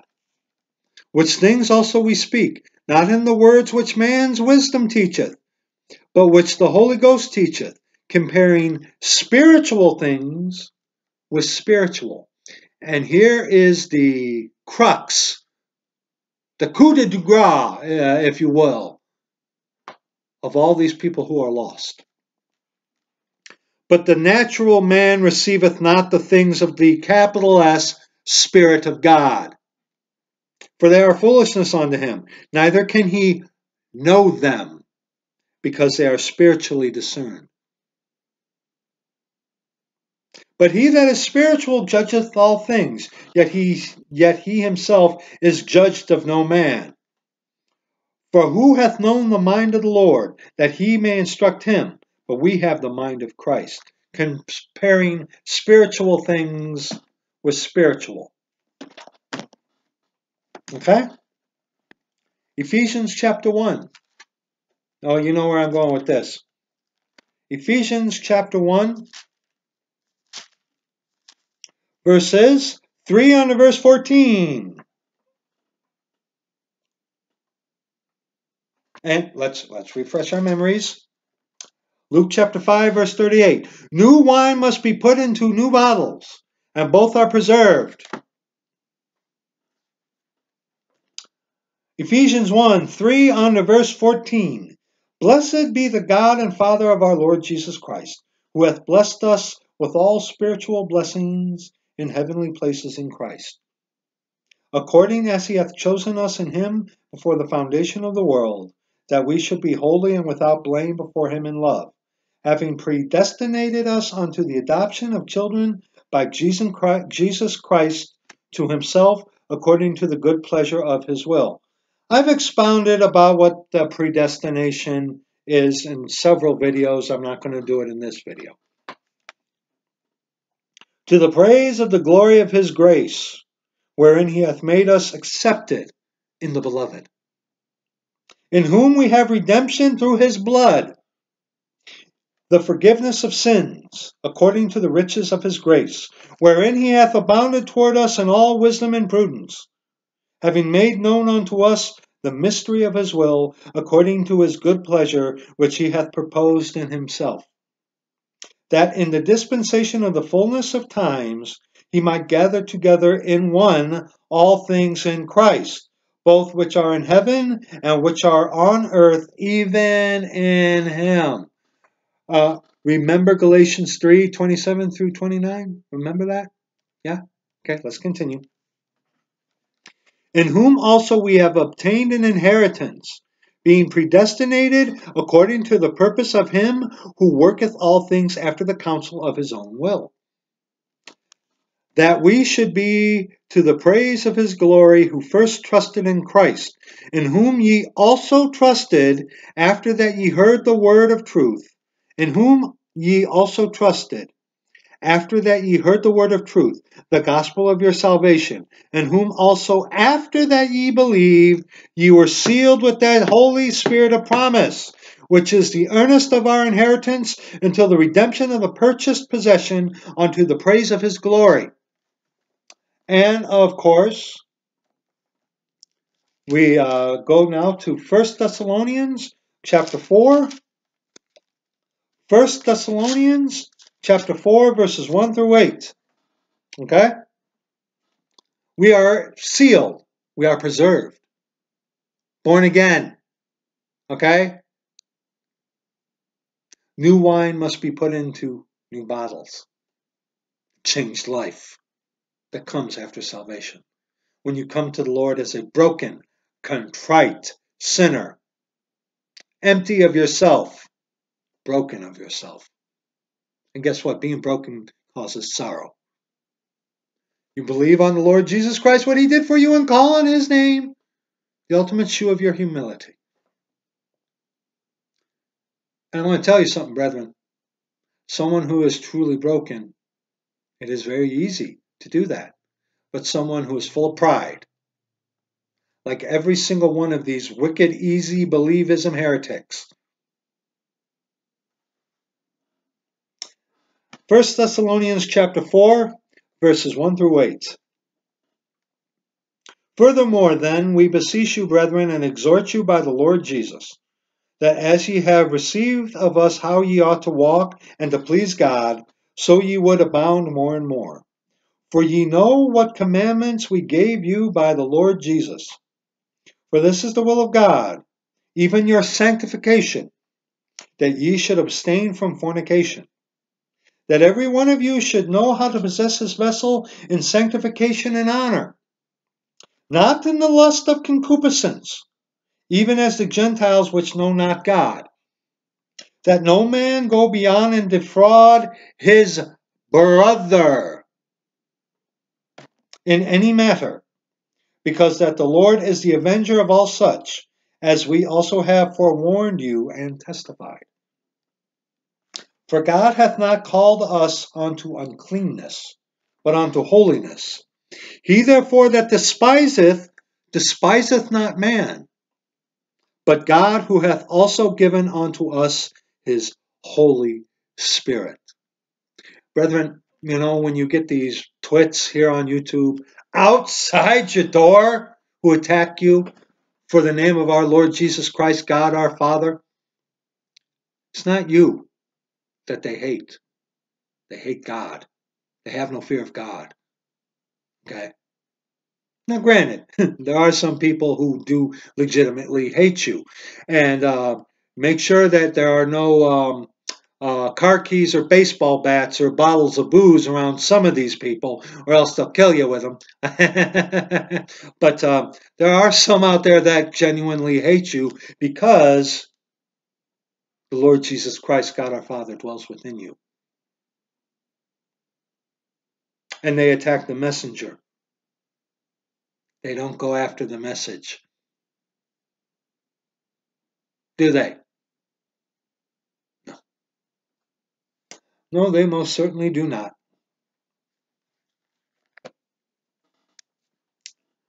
Verse 39 in Luke chapter 5.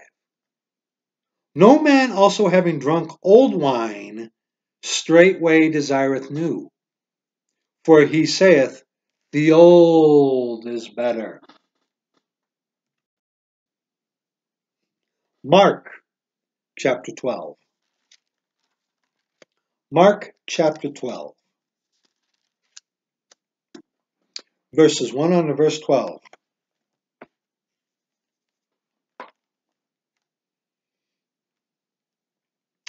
Mark chapter 12, verses 1 on to verse 12.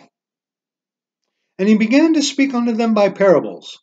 A certain man planted a vineyard, and set an hedge about it, and digged a press, and digged a place for the wine fat, and built a tower, and let it out to husbandmen, and went into a far country. And at the season he sent to the husbandmen a servant, that he might receive from the husbandmen of the fruit of the vineyard. And they caught him and beat him, and sent him away empty. And again he sent unto them another servant, and at him they cast stones, and wounded him in the head, and sent him away shamefully handled. And again he sent another, and him they killed, and many others, beating some and killing some. Having yet therefore one son, his well beloved, he sent him also last unto them, saying, they will reverence my son. But those husbandmen said among themselves, This is the heir. Come, let us kill him, and the inheritance shall be ours. And they took him and killed him, and cast him out of the vineyard. What shall therefore the Lord of the vineyard do? He will come and destroy the husbandmen, and will give the vineyard unto others. And have ye not read this scripture? The stone which the builders rejected is become the head of the corner. This was the Lord's doing, and it is marvelous in our eyes. And they sought to lay hold on him, but feared the people, for they knew that he had spoken the parable against them. And they left him and went their way. Luke 19. Luke 19 verses 26 on to verse 27. Luke 19, verses 26 on to verse 27. For I say unto you, that unto every one which hath shall be given. And from him that hath not, even that he hath shall be taken away from him. Looking at verse 27. But those mine enemies, which would not that I should reign over them, bring hither and slay them before me. Have you counted the cost? See, this is why easy believism is being pushed so rampantly, so vilely right now. but those mine enemies which would not that I should reign over them. Bring them hither and slay them before me.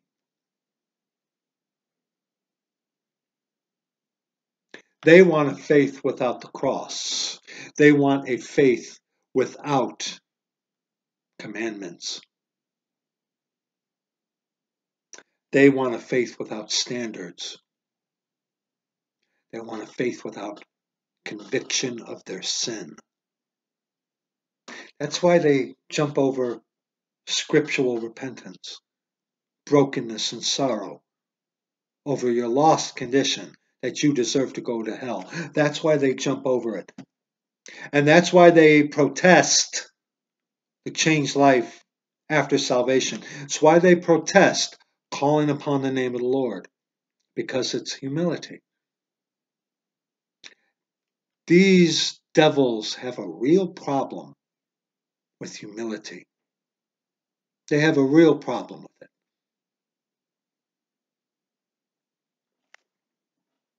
Because they will not have the Lord to rule over them. They claim they believe the scriptures. But you look upon these people as conduct of one that's supposed to be of the Church of the Living God. Huh? But that's when they they start to make excuses upon excuses upon excuses. And remember, who makes excuses? Lost people.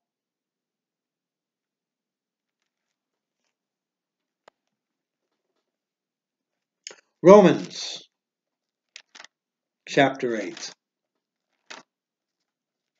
Romans chapter 8.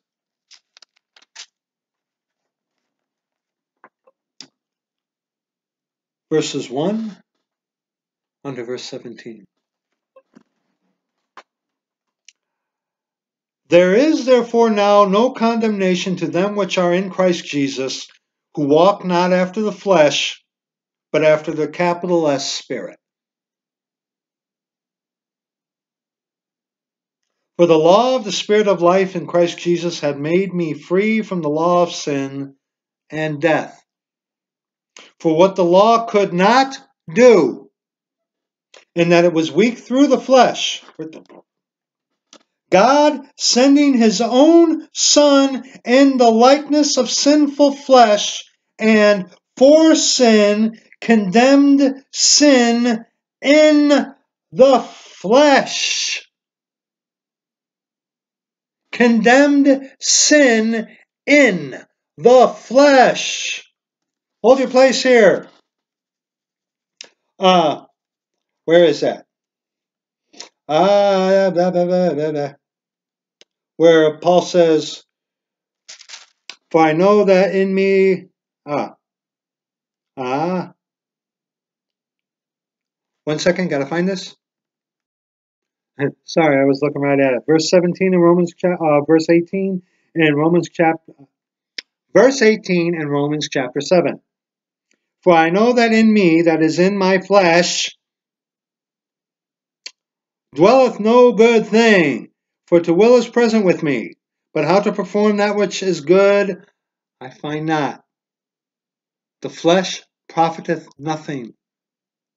The words that I speak unto you, those are spirit and life. I just paraphrase that. Paraphrase that. For what the law could not do, back in Romans chapter 8, in that it was weak through the flesh, God sending his own Son in the likeness of sinful flesh, and for sin condemned sin in the flesh.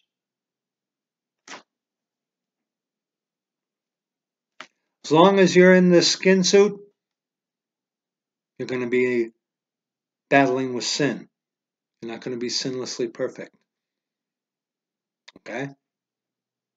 Let's continue that the righteousness of the law might be fulfilled in us, who walk not after the flesh, but after the Spirit.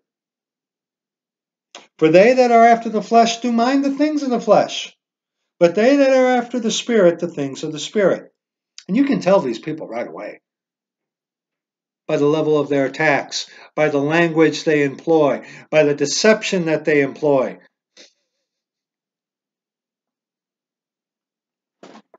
Can spot these people quite easily. Let's continue. For to be carnally minded is death, but to be spiritually minded is life and peace. Because the carnal mind is enmity against God, for it is not subject to the law of God, neither indeed can be. So then they that are in the flesh cannot please God.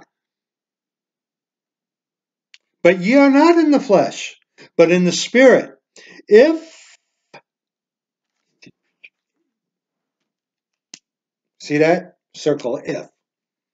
If so be that if so be that the spirit of God dwell in you. If so be that the spirit of God dwell in you.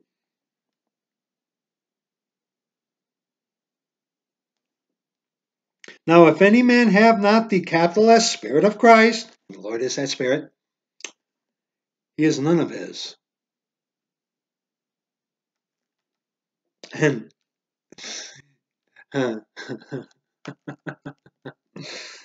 and uh, Beelzebub of, of Blackpool and the Canadian little boy toy to Beelzebub of Blackpool. Um, there are those out there of you, enemies of our Lord, think those guys are saved.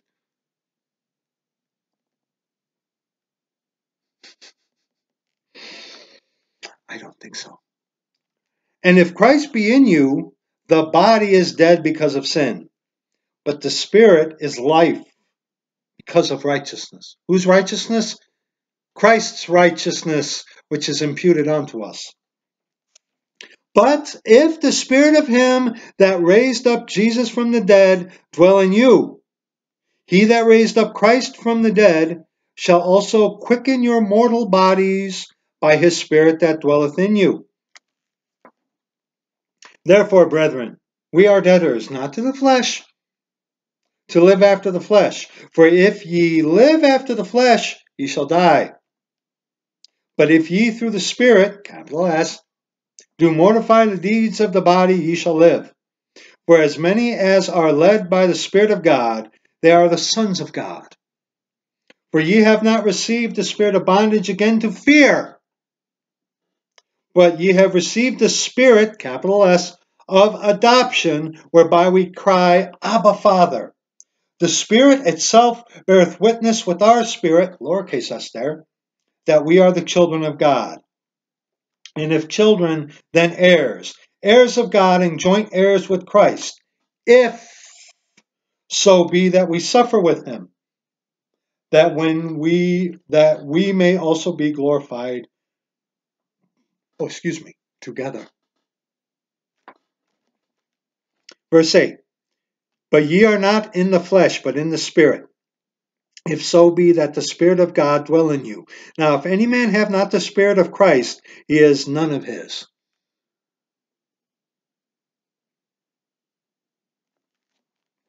And these people here on YouTube who attack Bryan, Brother Bryan, who attack Brother Aaron, attack me, who attack many of the brethren.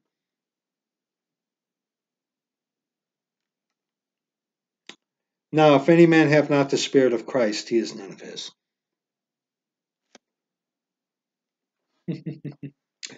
First Corinthians chapter 3. First Corinthians chapter 3. Verses 1 on to verse 7.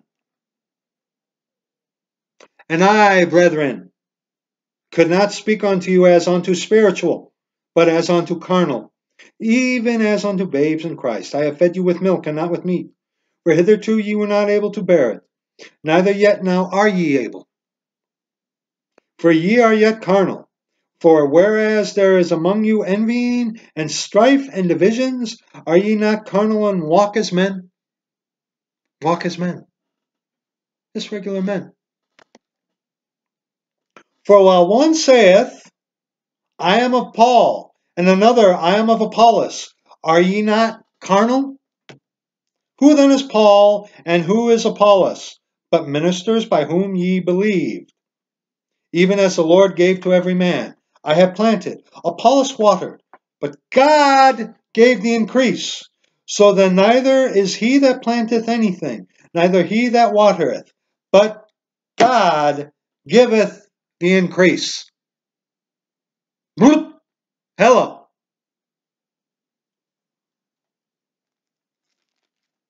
First Corinthians chapter 10, verses 20 on to verse 26.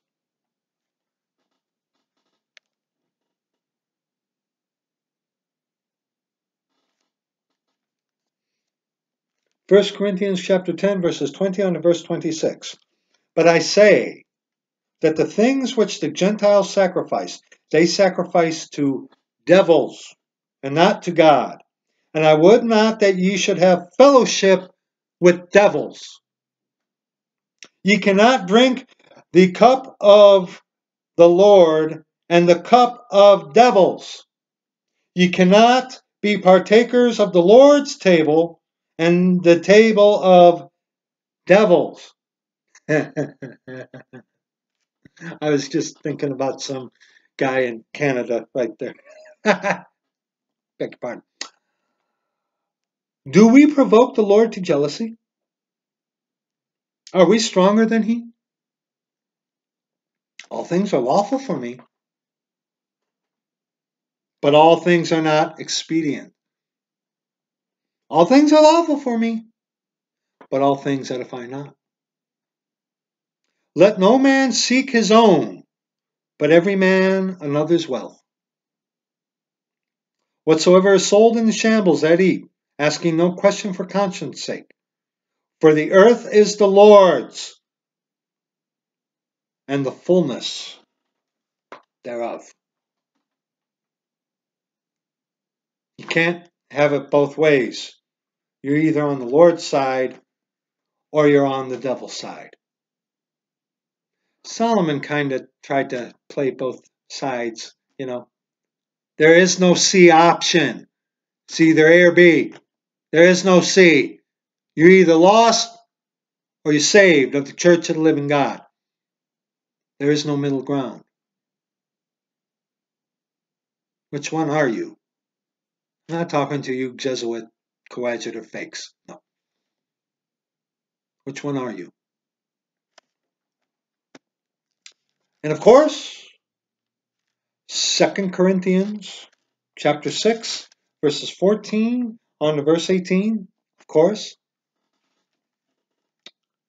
Be ye not unequally yoked together with unbelievers.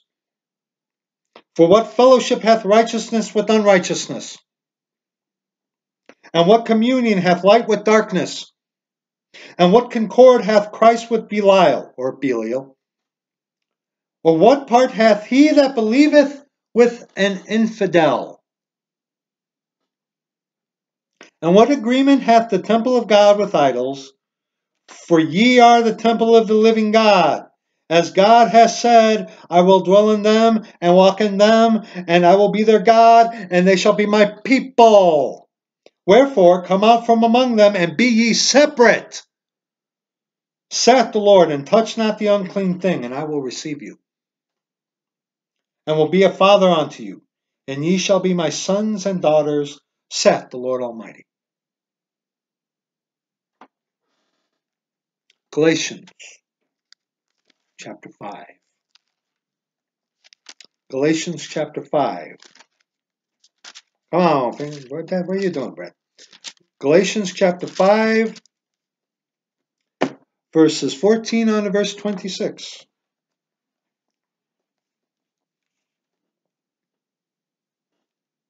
Galatians chapter 5, verses 14 on to verse 26. For all the law is fulfilled in one word, even this Thou shalt love thy neighbor as thyself. But if ye bite and devour one another, take heed that ye be not consumed one of another. This I say, walk in the Spirit, and ye shall not fulfill the lusts of the flesh. For the flesh lusteth against the Spirit. Hello. We all know that, those of us at the Church of the Living God. And the Spirit against the flesh. And these are contrary the one to the other, so that ye cannot do the things that ye would. But if ye be led of the Spirit, ye are not under the law. Now the works of the flesh are manifest, which are these? Adultery, fornication, uncleanness, lasciviousness, idolatry, witchcraft, hatred, variance, emulations, wrath, strife, seditions, heresies, envyings, murders, drunkenness, revelings, and such like, of the which I tell you before, as I have also told you in time past, that they which do such things shall not inherit the kingdom of God, spiritual kingdom. But the fruit of the Spirit is love, joy, peace. In Yiddish, shalom. Long suffering, gentleness, goodness, faith. Meekness, temperance. Against such there is no law. And you Jesuit coadjutors and infiltrators, you can fake those, but not for too long. And they that are and they that are Christ's have crucified the flesh with the affections and lusts. If we live in the Spirit, let us also walk in the Spirit. Let us not be desirous of vain glory, the praises of men, provoking one another, envying one another. And finally, Romans chapter 6. Beg your pardon, brethren.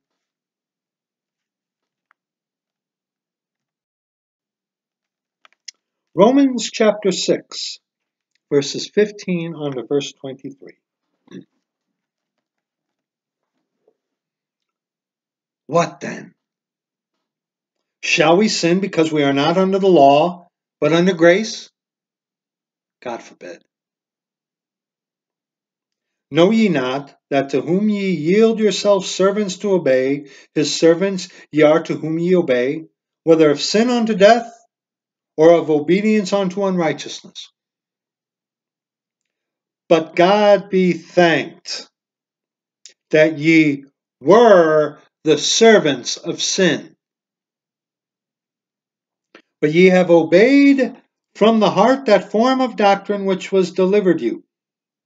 Being then made free from sin, ye became the servants of righteousness. I speak after the manner of men because of the infirmity of your flesh. For as ye have yielded your members servants to uncleanness and to iniquity unto iniquity, even so now yield your members servants to righteousness unto holiness. Hold your place there really quick. We're going to read verse 20, but Luke chapter 5, verse 39.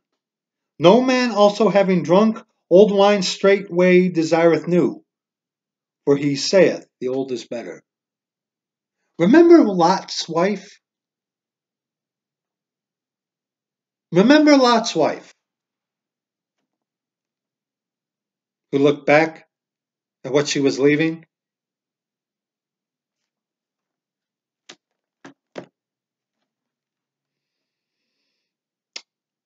Continuing in Romans chapter 6. For when ye were the servants of sin, ye were free from righteousness. What fruit had ye then in those things whereof ye are now ashamed? For the end of those things is death. Oh, I'm ashamed of my lost life. Absolutely. I'm ashamed of the things I've done as a lost man. I'm forgiven of those things. Yes, I am forgiven of them. I don't dwell on them. But yes, the things I did as a lost man, grotesque, despicable, as a lost man. But when I came to the Lord, broken, crying, snotting all over myself, in the bathroom of my former employment on a cold concrete floor, repenting and having sorrow for what I was and for what I did to my Lord. And I trust on him and I called on the name of the Lord Jesus Christ, God my Father.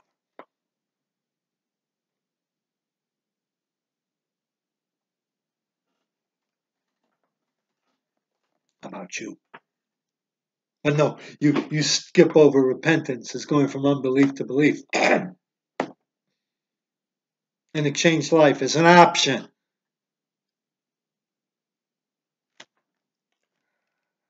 Your life is either going to change or you're going to be taken out or you ain't saved.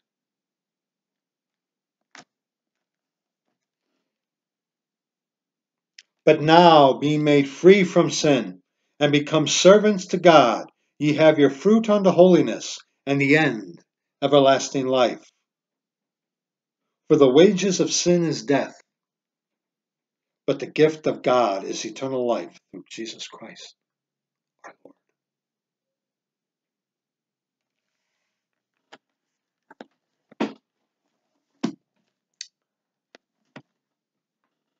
Hmm.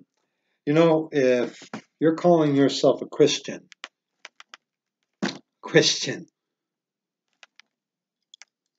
and you think that the way it used to be for you before you label took the label that they put upon us, Christian, was better before. Remember Lot's wife? Well, through this little, through these little verses here, through um, Luke here, we see many things. Changed life after salvation is inevitable because it comes of the Lord. And those who dispute that are not saved. They have, they love their sin more than they love the Lord, which they claim to do. They have no fear of God before their eyes. They love their sin. And they're going to get what's coming to them.